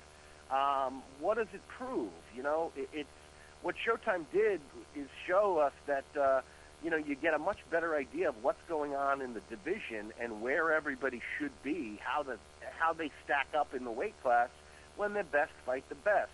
If they're only going to have two fights in the year, then at least okay, so have Cleverly fight Shumenov, and then in the, the winner of that fights B B Hop. So you know why not? Uh, that's kind of the kind of thing that I think should happen. uh, especially when guys fight so infrequently. Uh, if they were fighting more often, then yeah, a couple of little, um, you know, fights in your hometown or in your home country uh, against a, you know, in a, in front of a friendly audience, you know, that's sort of just a make money fight. That's fine, but um, when you're only going to fight twice a year and you fight a gimme fight and then you're waiting and waiting and waiting for the important one, it's uh, it's just a little frustrating for the fan, that's for sure.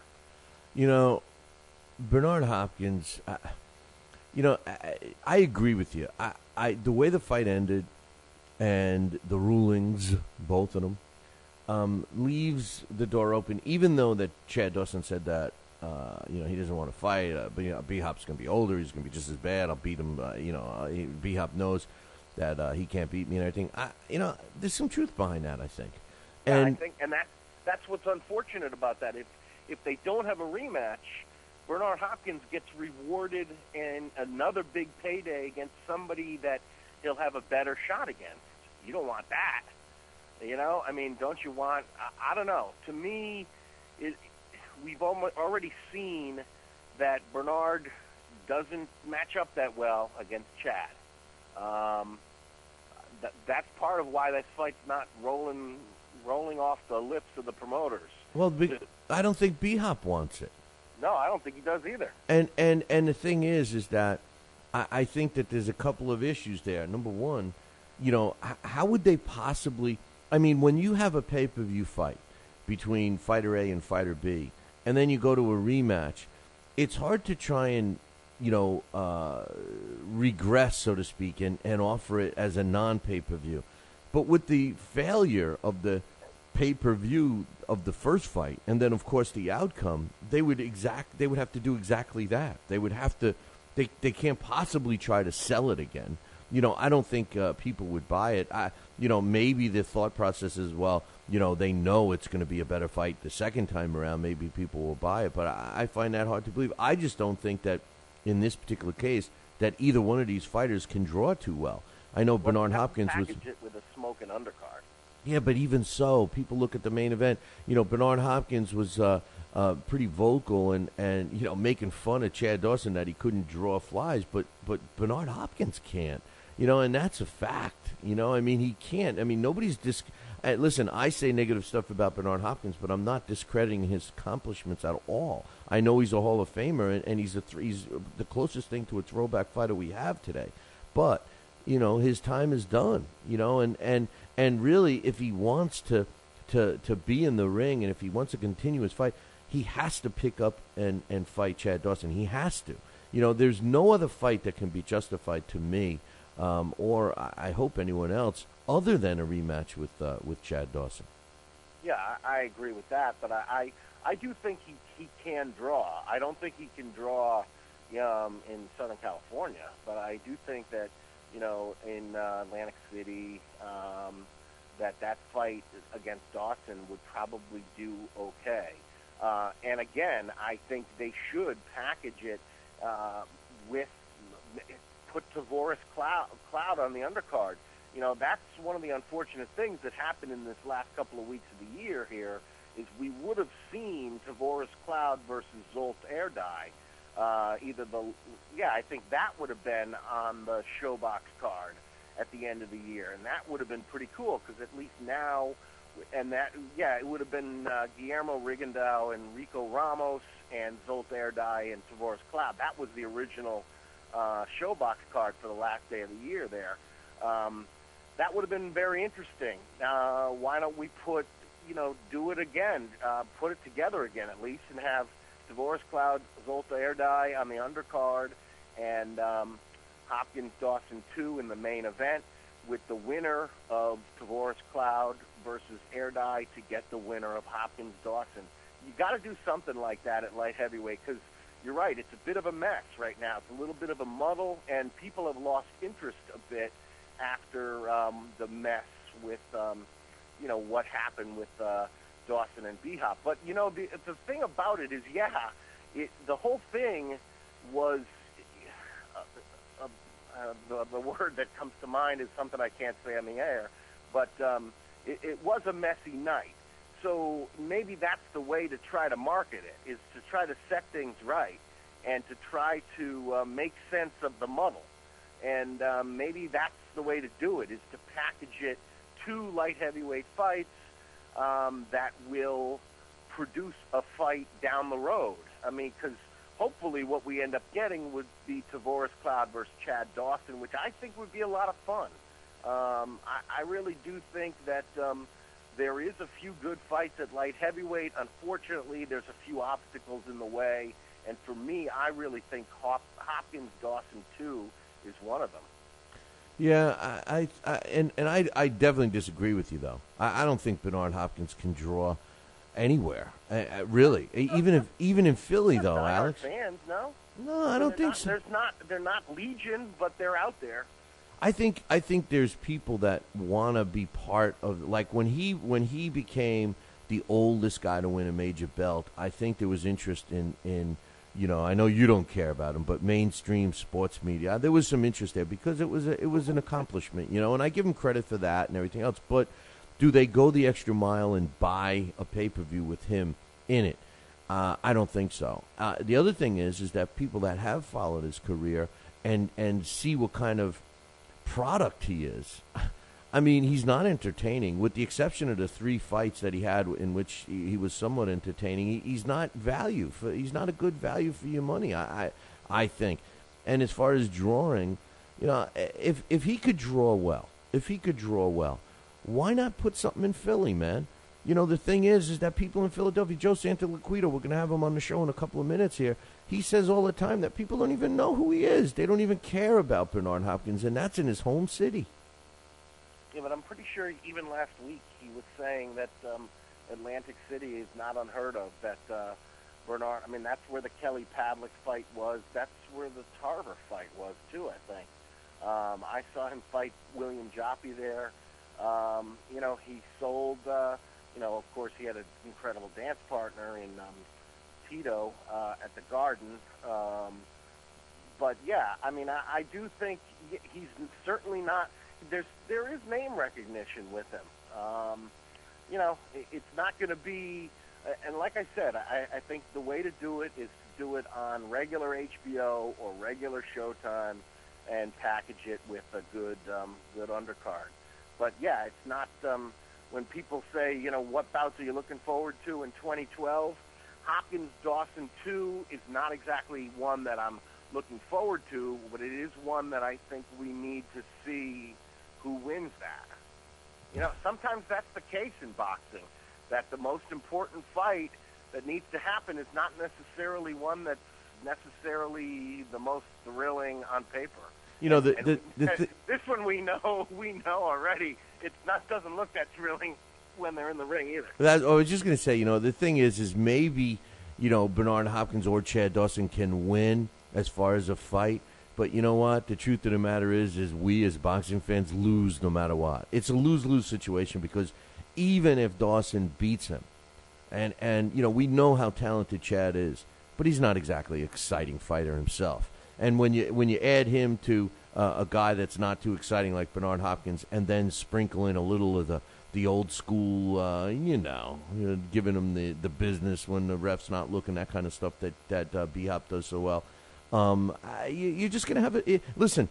We're gonna have another boring fight, is what it is, and I think people and and it's a shame because even if they gave us a thrilling, you know, nail biter at the edge of your seat kind of fight, I think the the the, the natural consensus going into it, regardless of the build up and the promotion, is going to be ho hum. You know. Well, I think the I think it's one of those situations where because there's so much bad blood now, it, the the buildup might be more entertaining than the fight itself because um, of how they match up. But uh, it's going to be it, it could I, I don't know. Uh, I, I mean, I like both guys, so I don't mind um, seeing it again. Um, you know, I, I and I disagree with you. I, I do think Chad can be exciting.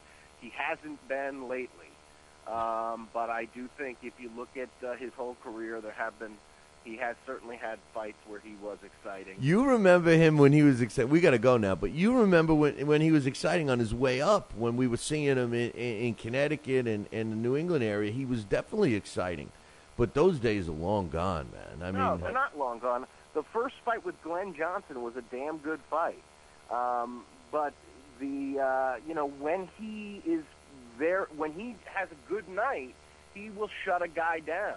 The fight with Tomasz Adamek was a good fight. Um, but yeah, he, he has had a couple of stinkers in a row. The Diaconu fight was terrible. Um, you know, and then I mean he was proficient against in the two wins over Tarver, but they weren't exactly scintillating. Uh, well, you know, uh, I can't argue there. But uh, a- Alex, I appreciate you uh, stopping by and uh, spending some time with us, and uh, extra time especially. And uh, hey, well, let's chat a little later on today, all right? All right, WC, take care. All right, brother, take care. That's my main man, Alex Pierpaoli. And uh, hey, come on, man. Don't don't don't don't be hard on him because he thinks that Bernard Hopkins and Chad Dawson could be exciting. I- I mean, come on. Talking boxing with Billy C. Every week, two hours of the best boxing talk on the radio. I have a bunch of questions, Donnell, right? If you feel like you want to, you can answer for JD first. Why will you win? JD Chapman, why will you win? Baby Holmes will get sick and get hit by a train that day on the way to the fight, or he might have diarrhea, he might have the flu, he might throw up. One of his eyeballs might fall out that day, and I might get lucky. Talking boxing with Billy C. Talking boxing with Billy C. Every week, two hours of the best boxing talk on the radio. Mike Tyson looked like he put on some pounds. He was fat. He went into McDonald's and he just said to them, hey, give me six of everything on the menu. He put on two watches and covered two time zones. I'm talking fat here. Got on a scale the other day and it said, come on, one of you guys got to get off. Last thing I heard is that he jumped into the ocean and he left a ring around the continent. He's Talking fat. boxing with Billy C. Now back to Talking Boxing with Billy C. He may not have an Excellence in Broadcasting award, but the night's still young. And he's got martinis. So you never know what may be by morning. It's Talking Boxing with Billy C. Talking Boxing with Billy C. The one, the only Don King. Makes me feel good, Billy, to have you, the number one show in the country, talking boxing with Billy. So I invite each and every American that's listening to this great show to tune in. Because we want you to be there with Billy and me. Sweet Susie Q,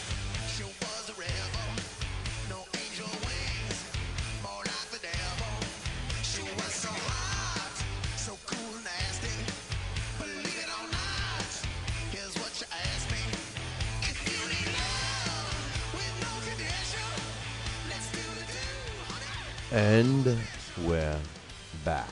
You are listening to the Talking Boxing with Billy C. radio show. And you'll watch us on the Fight Now television channel. That's right, Fight Now, 24 hours a day, 7 days a week.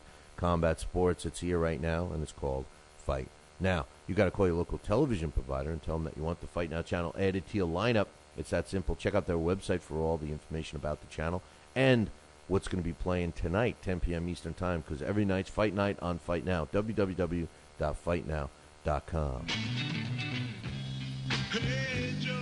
Hey, who's more opinionated than Joe Santoliquito? Tons of athletes that have asthma, and they deal with it, pal. Deal with it. The hell with you, and the hell with you, and the hell with you. Until I see him enter the ring, you know, where there's no jiggle to his wiggle. Uh, you know, the man boobs aren't flopping all over the place. That's a joke. And it kind of cracks me up, this trash that they put on pay-per-view. Joe Santoliquito. And uh, speaking of Joe Santoliquito, he joins us right now. What's up, brother? Happy New Year. Oh, yeah. Happy New Year to you, Bill. Hey, uh, what do you think, man? Are we in for a good year? O- overall, before I ask you a couple of questions, you know, we had a poll question up on uh, BillyCBoxing.com network, and uh, uh, you know, I, I said I thought that uh, 2011 was going to was a solid year, and the question was, you know, to everybody, to all the viewers and the listeners, you know, what do you think 2012 is going to be? Is it going to be equal to 2011? Is it going to be better, worse, or is it just going to be overall bad for the sport? What, what do you think? Uh, I, I, yikes, I, I, really don't know. I, I don't know what's what, what could be out there. We've already had a couple fights fall out already, so it hasn't really started off well. Uh, we have uh, one of the most popular, if not the most popular fighter uh, in a couple of days here you know, going to the pokey. So I would say, I would say right now, right now as we're talking at this very minute, not good. Not good, huh? Because because of one guy that only fought. Um, that he only fought one time last year. Yeah, but a lot of the sport, Bill, still revolves revolves around him. Whether I like it, you like it, anybody likes it. Uh, the sport still, to to a large degree, revolves around him. When he opens his mouth, when he does something, there's somebody somewhere that's going to jump on it. Uh, he's still a lightning rod uh, for, for boxing, and I hate to say it, he, he, he carries quite a bit of that with him. Again, regardless of what we want to say, what we want to, what we want to like, he's he's right now um, one of the major faces in the sport. I still think Pacquiao drives the sport, but uh, Mayweather's certainly uh, a, a very strong figure in the passenger seat. Yeah, you know, it, it's uh, you could have a. I mean, everybody. The thing about Mayweather is that he's successful, obviously, in in the money. You know, and uh, people want to fight him just for the payday, and uh, and he's a great fighter. I mean, there's no question about that. And we'll see. I listen. You know, I love all of this press that that's coming around, and yes, he's going to be going to jail and all of that stuff. But this is certainly not. And I'm not saying Mike Tyson had an easy time in jail or a tough time in jail, but he did go to prison, and he was in there for three years. And and uh, uh, you know, Floyd is basically going to uh, uh, you know a county lockup, and and I, like uh, I believe uh, um, uh, Marty Mulcahy said, it's still going to be uh, you know something that he's not experienced when those doors close and the lights go out, type of a thing. So I think it's going to. I think it's actually going to help him. What do you think? I'd like to think that. Um, um, I may be giving you a call later this afternoon. I'm actually working on a project that can't be too specific about, but uh, it's interesting. I mean, there has been uh, precedents in the past where, where things have happened, where uh, uh, very recently James Kirkland came out and, and, and uh, after his little stay and, and came out a little bit the better. Uh, you had Tyson that, that went in and came out and came out I'm going to say a little bit the worse. You know, he. Um, uh, you have uh, some other precedents in the past. I know uh, every once in a while, I think uh, Sonny Liston would have a stay here, and you know, uh, here and there, uh, in, in, in the pokey. Uh, prior to um, his career really launching, you had Bernard Hopkins uh, for a time, and what, what what's happened there, and and here in, in Philadelphia to take a step out of the boxing area, but in that same realm is is Michael Vick and, and how you know that jail time and, and, and what it did to him transformed him, you know, into you know basically making him a more humble person, and hopefully this will be a humbling experience for Mayweather. Hopefully Mayweather will have a chance to look at some of the error of his ways, and and, and obviously this is a situation where he couldn't he couldn't exactly buy his way out of this uh, because there were a number of other transgressions that we both know about that he was able to get out of. And, and what happens with a child that keeps on doing wrong, keeps on doing wrong, keeps on doing wrong, he's going to continue to do wrong unless he gets his hand slapped and he gets his butt whacked. And, and that's what ha- that's what hopefully is going to happen in this situation. That after all this time, we're, we're dealing with a 32, 33 year old man who's who's finally getting the discipline that that always should have been there, you know, and that wasn't. I mean, you know it, and I know it. Bill, he has nothing but enablers around him. Enablers. I'm sorry, I get that the correct pronunciation out. He has nothing but en- enablers around him, and and you know, yeah, champ, yeah, you're the best champ. Well, that other business champ, you know, whatever he could do, you know, uh, go ahead and kill ten people. Yeah, champ. Yeah, that's the best thing. No, I know, I know. They're all a bunch of yes men and, and everything. You know, I think his, I think he did get uh, the benefit of the doubt uh, with all these cases. I, I- I think his his attorneys cut him a good deal. I mean, when when all is said and done, you know, I, I doubt very much he's going to spend a day over forty day, maybe forty five. The the high estimate uh, uh, of what he's actually going to do is forty five days. So I, you know, I, I think it's going to be an impact on in him. I think he's going to say to himself, "I never want to go through this again." you know, uh, and and and take the steps necessary to keep his nose clean. I mean, he doesn't have to change his persona. You know, we all know that that's his persona, and and you know he's he wants to be the guy in the black cowboy hat, so to speak, and that's fine. But you know, you can do that and keep your nose clean and stay out of trouble. You know. Yeah. Well, hopefully, like I said, this is he's, he's got to see some some error of his ways. You know, Joe, we were just talking about uh, a Philly a Philly guy, and um, you know uh, Bernard Hopkins, and and I was talking with uh, Alex Pierpaoli about him, and you know it it came up in a conversation like this. You know, Nathan Cleverly, who's an undefeated light heavyweight, uh, I would have liked to have seen him fight Bernard Hopkins. And Nathan Cleverly, I also would like to have seen him fight Beibut Shumenov. And everyone thought that Cleverly and Shumenov were going to fight each other, and it was just announced that um, Cleverly is going in a different direction. He's taking on uh, Tommy Karpency, and and Beibut Shumenov again is left in the in the cold. And you know, uh, all, all of a sudden, Bernard Hopkins' name comes into the conversation, and you know, Alex was saying, well, he felt that um, you know the the rematch with Chad Dawson should happen. And in a sense, I, I agree. I, I do think that the rematch should happen because it's definitely not a closed book the, the, the between those two. However, it seems that Bernard Hopkins doesn't want the fight, and then it comes the issue of logistics. How do you try to sell that fight again? I mean, uh, to me, there's no demand for it. And, uh, you know, I was trying to point out to Alex that Bernard Hopkins isn't even a draw in Philly. What's your thoughts on a, on a rematch? Um, I think it should happen too. I think it should happen too. Uh, it, it, it, it, it, did end inconclusively. As a matter of fact, it was it was freaking freaking horrible. Uh, I think it should should happen again. I think it should happen on regular HBO. Whoever's going to want to put it out shouldn't. Should, it certainly shouldn't be pay per view as it was the first. Okay, time. wait. Now let me ask Uh, you something. Hold on. Now I agree with you. I agree with you. But this is what I just said to Alex. That's the problem, I think, Joe. I think the problem is the fact that it was a pay per view and the fact that it was a failure kind of puts Bernard Hopkins in a situation well he can't regress and say okay we're going to give you the rematch people everybody wants to see the rematch which I don't know if everybody really does but let's just say No everybody's wants to see the rematch. Bernard lives in a delusional world. No, I understand He's that. A little I bit more popular than he actually is, but but I, I'll still say this, and I'll maintain this. They would. They first off, it was it was a, it was a bad bad decision, bad choice to have it in Los Angeles. Horrible decision to have it in Los Angeles. You know, they papered that house. You know it. I know it. I think they announced what seven thousand, eight thousand, whatever. Well, they gave thirty five. They gave thirty five hundred away. But but listen, my point was this. Um, you know, how does a how does a, a, a from a business when you put your business hat on, how do you go to a first fight and and make it a pay per view, then come back and say, hey, we're going to make this one free? I mean, then you you you possibly lose the pay per view for the for the next fight that that you want. I mean, because that's kind of what happened. They put the two fights on HBO with Pascal. They come back with a pay per view fight. It's a stinker.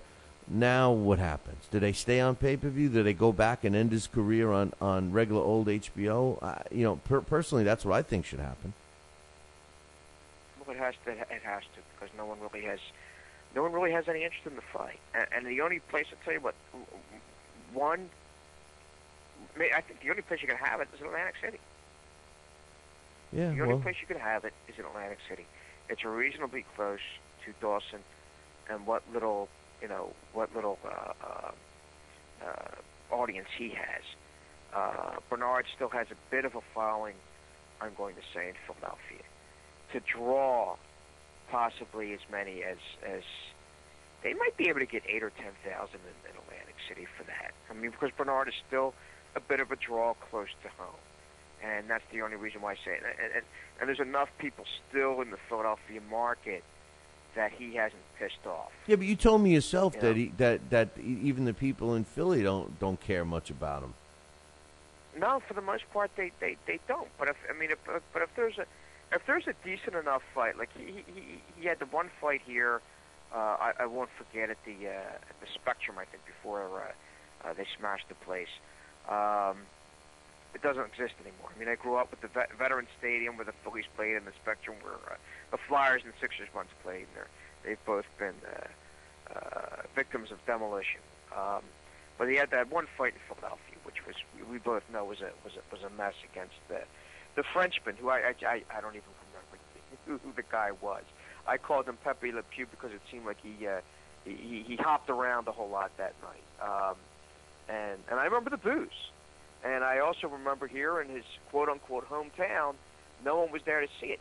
But if if Chad Dawson, who is who is let's also be realistic, um, Chad is a contender, and, and Chad is is a is, is a decent fighter. He's he's one of the best you know light heavies out there. You have a Chad Dawson fight. There's a chance that there's going to be a, a bit of a showing, and, and again, it's, it's it's AC bound. It should be AC bound. It shouldn't be at the Wells Fargo Center because uh, they're too smart to turn around and take a chance and put out a ton of money, knowing that um, you know they wouldn't get uh, a big crowd for that, but they, they would get a decent crowd for for Dawson and Hopkins, I believe, in Atlantic City. But that's the only place I think they get a decent crowd. Yeah. Because you're talking about a decent. You're also talking. You're talking about a world, a real legitimate fight, not. Uh, uh, um, help me out here. Was it Morrade Hakkar? Uh, who was the guy he fought in in, uh, in Philly that one time? What what what fight was it? Who? It was in Philadelphia. Bernard fought in Philadelphia. As a matter of fact, his last fight in Philadelphia. Um, against the guy from Montreal. No, a guy, a guy, a guy I believe was from France. I thought it was a friend, uh, you know, a Montreal. Uh, I can't. Uh, well, I think of, it's Morrade Hakkar or something like that. um, somebody in the chat room punch up. Uh, if one of you guys in the chat room can punch that up, tell us who uh, we're trying to think of here. I, my mind is a blank too I, because I'm thinking of. Uh, I was thinking of that uh, French Canadian guy, but uh, but I, I'm wrong about that. But let us know who did Bernard Hopkins fight in Philly. Uh, if you guys uh, can help us out there. In the meantime, um, you know, I, I just don't know why. You know, he's saying he was quoted as saying, and I'm talking about Bernard Hopkins. Um, they're saying William Joppy in Atlantic City, but he's not French. We're talking about in Philly. Oh no, no, no, no, no, no, no, no. And that and the Joppy fight Oh, Enrique- the, En- uh, no, that- Enrique- that, the Enrique- middleweight that you know when Bernard was kind of on top of his game. That's No, right, no. Co- I- Coach- I think it's Morrade. I think it's Morrade Hakkar. You know, I think that's the name of the fighter. It's not. It's not. Oh, because the last I, I fight, was there for that. the, the last fight that uh, uh, that that he fought, and, and coach is right. Uh, he fought Enrique Arenales, but that wasn't a French guy. That was like a fight that he Oh, I'm had. sorry. Yeah, that's right. That was at Temple. That was at Temple University. I was there for that. That was yeah. That that is correct. Technically, that is correct. But there was a fight prior to Hakkar that. at the Spectrum. Yes, Morrade Hakkar. That's it. Morrade Hakkar. Yeah, that's what uh, saw Alex. Pepe Le Pew. It was just, and it was, it was just, it was awful. It was awful. And uh, and Ornalis was a fight coming off a long layoff, where uh, Bernard, I think, was was you know was just kind of a, a, a kind of a, a, a get ready fight or you know stay active fight type of thing. Uh, Hakkar was supposed to be a little bit of a decent build up because I think he was still with King at the time, and uh, he was still with King at the time, and I think. Uh, I, I think Hasim Rahman was fighting Tua in a rematch on that same undercard, and and people didn't people didn't respond. People did not respond to it. I think it's it's partially because of um, He's not people wanna see exciting. good fights. He's not exciting.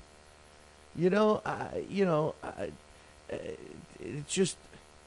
I, I don't know. He's just not an exciting fighter to me at all. I thought Jean Well, I'll Pas- tell you what, though. You- I tell you what, you got to give him points, and I agree with that, Bill. You got to give him points for you know he put on a nice show against Jean Pascal. I was just going to say the was- three, It was, it was certainly exciting enough against Jean Pascal. both fights, So, and the one against Kelly Pavlik too. Yeah, yeah, and and, and that happened in Atlantic City, and, and he had he had, he had, I think he had about 12, 10, 12, uh, 13,000 for that in AC. So and that's the only venue you can have uh, a, uh, a a uh, Hopkins Dawson fight right now. And uh, Donaire coming up too, right? We have Donaire coming up this year. Yeah, he's fighting. Um, uh, he's fighting on the undercard of uh, uh, Julio Cesar Chavez Jr. See that that get that gets me. After all that hoopla, after all the the the, uh, the fiery hoops that Top Rank did, and, and jumping through all the fiery hoops to retain this kid, and, and I think you're in the same. I'm a big Donaire fan. I, I like the way he fights. I like the style. Uh, he's a superstar. He must be one of the most under-publicized, under-marketed stars that's out there. This guy's easily one of the top five pound-for-pound fighters in the world. And you have this slot. And you have this way, this way they portray him after they do all this stuff, though. Turn around and retain him from Golden Boy. And then they turn around and put him, and think about this, then after that, you put him on an undercard I know. of Julio Chavez, you know, and I'm not sold on Chavez Jr. I'm still not sold on Chavez Jr. He does nothing for me. You, you got you got a good point, but here's the thing. You know, I, I think they're biding their time, and this is my opinion. I think that Top Rank is biding their time with Nonito Donaire for when Manny decides to hang it up, and Nonito Donaire is going to move into that spot. He's going to be their cash cow, Yeah, right? that's all fine, but but but when when when they were when as Pacquiao was rising, Pacquiao fought some. Pacquiao was already getting pay-per-views. He was already a main event fighter, and Donaire, I believe, is a main event fighter that's not getting those main event opportunities, and he should be center stage. Well, and he's not. I, you know uh, what? He doesn't fight enough. He doesn't on, fight on enough. Fight, Bill, on a fight where you have Chavez Jr. and Donaire, you know, I don't even care who the opponents are. Close your eyes, put your hands over your ears, and just look and see who's going to be the main event. The Main event has to be Donaire, doesn't it? Well, I mean, I- you would, I would, I know Chavez sells in certain areas of Mexico or that other business, and there's still people that are blinded by the Chavez light. I, But I, come on. I agree with you. I think Nonito Donaire is is is a is clearly a better uh, talented fighter than than Chavez Jr. And I do believe he can sell. There's no question about that. People are chomping at the bit for him. I think this is Bob. eh, Listen, Bob Arum has a s- successful blueprint, and this is part of it. The, the what we Yeah, ma- hopefully, yeah, what- but, what- but but also that that blueprint did, did kind of backfire on, on a few people, like Juanma.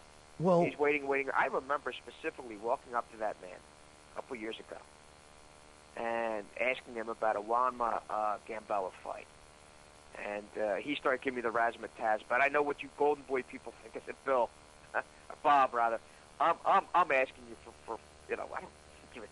You know, Boy, yeah, you may in may own Ring Magazine. I got a responsibility to to boxing readers, the, the people that are, you know, the, to, to, to us loyal, diehard few that are still into the sport.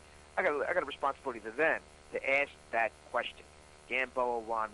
Oh, I, I don't care what you. And he spun in a completely different way because he's Arum, and I still pressed him.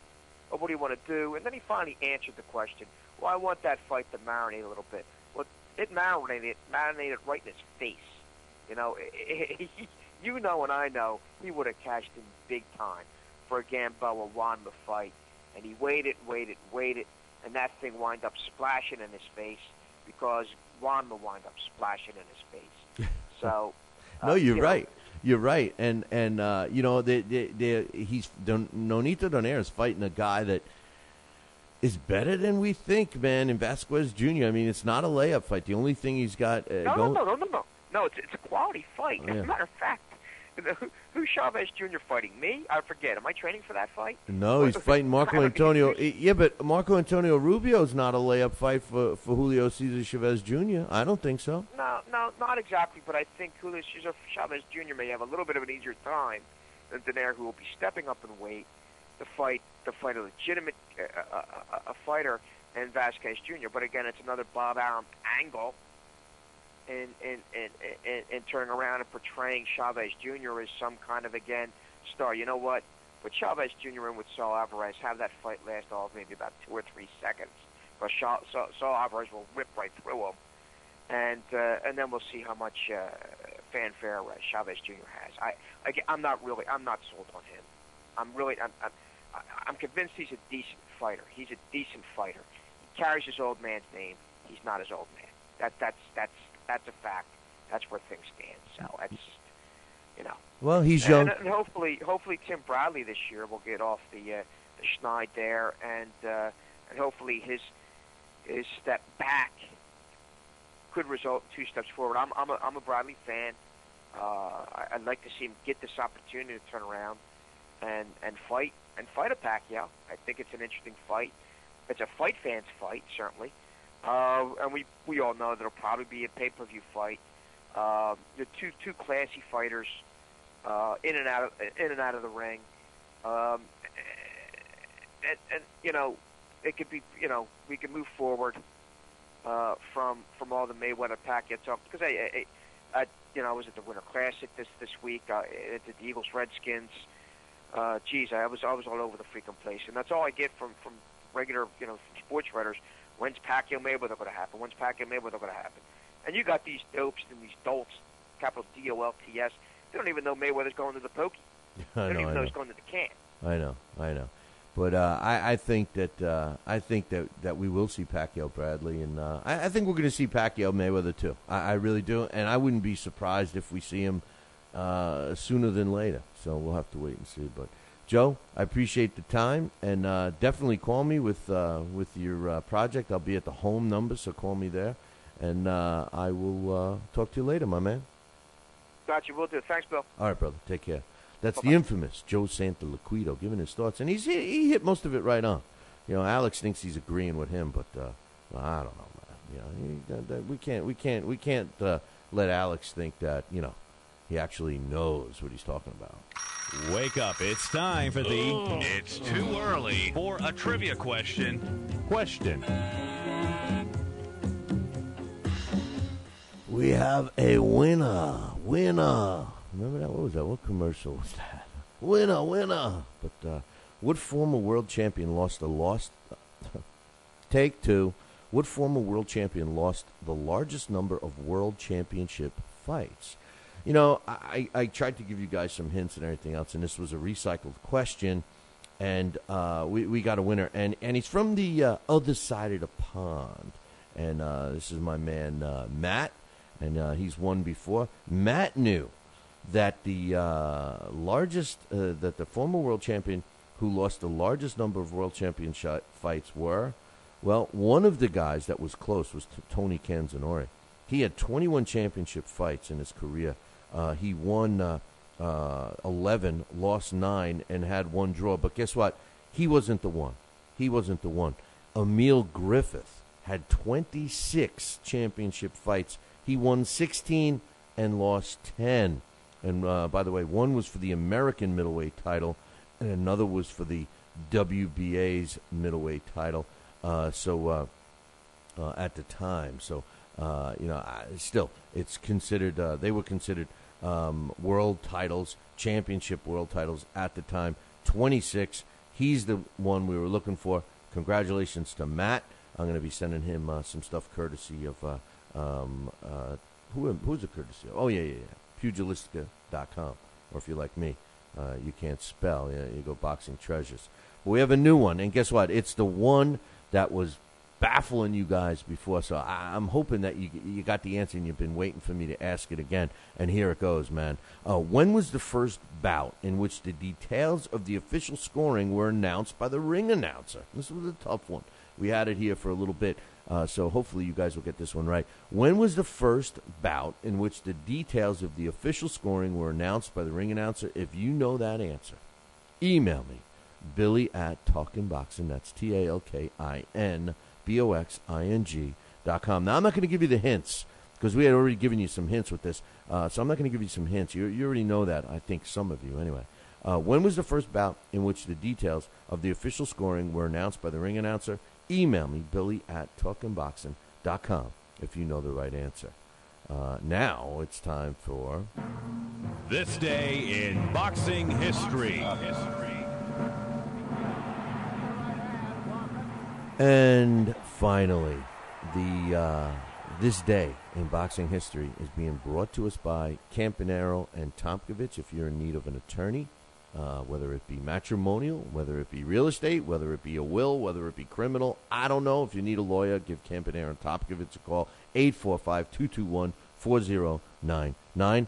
And on this day, January 4th, back in 1943, Slugger White, one of Alex Pierpaoli's favorite fighters, wins a 15 round decision over Willie Joyce to win the vacant. Now, check this out. We talk about all these belts nowadays. This took place in 1943. Uh, Slugger White won the vacant Maryland World Lightweight title, and that took place in Baltimore on this day, January 4th, 1943. Hey, man, that concludes our show for today. Uh, you guys, uh, I hope you enjoyed it, and uh, we want to make sure that you, well, you know, you know what we want to make sure, right? Uh, I mean, you know what I'm going to say, right?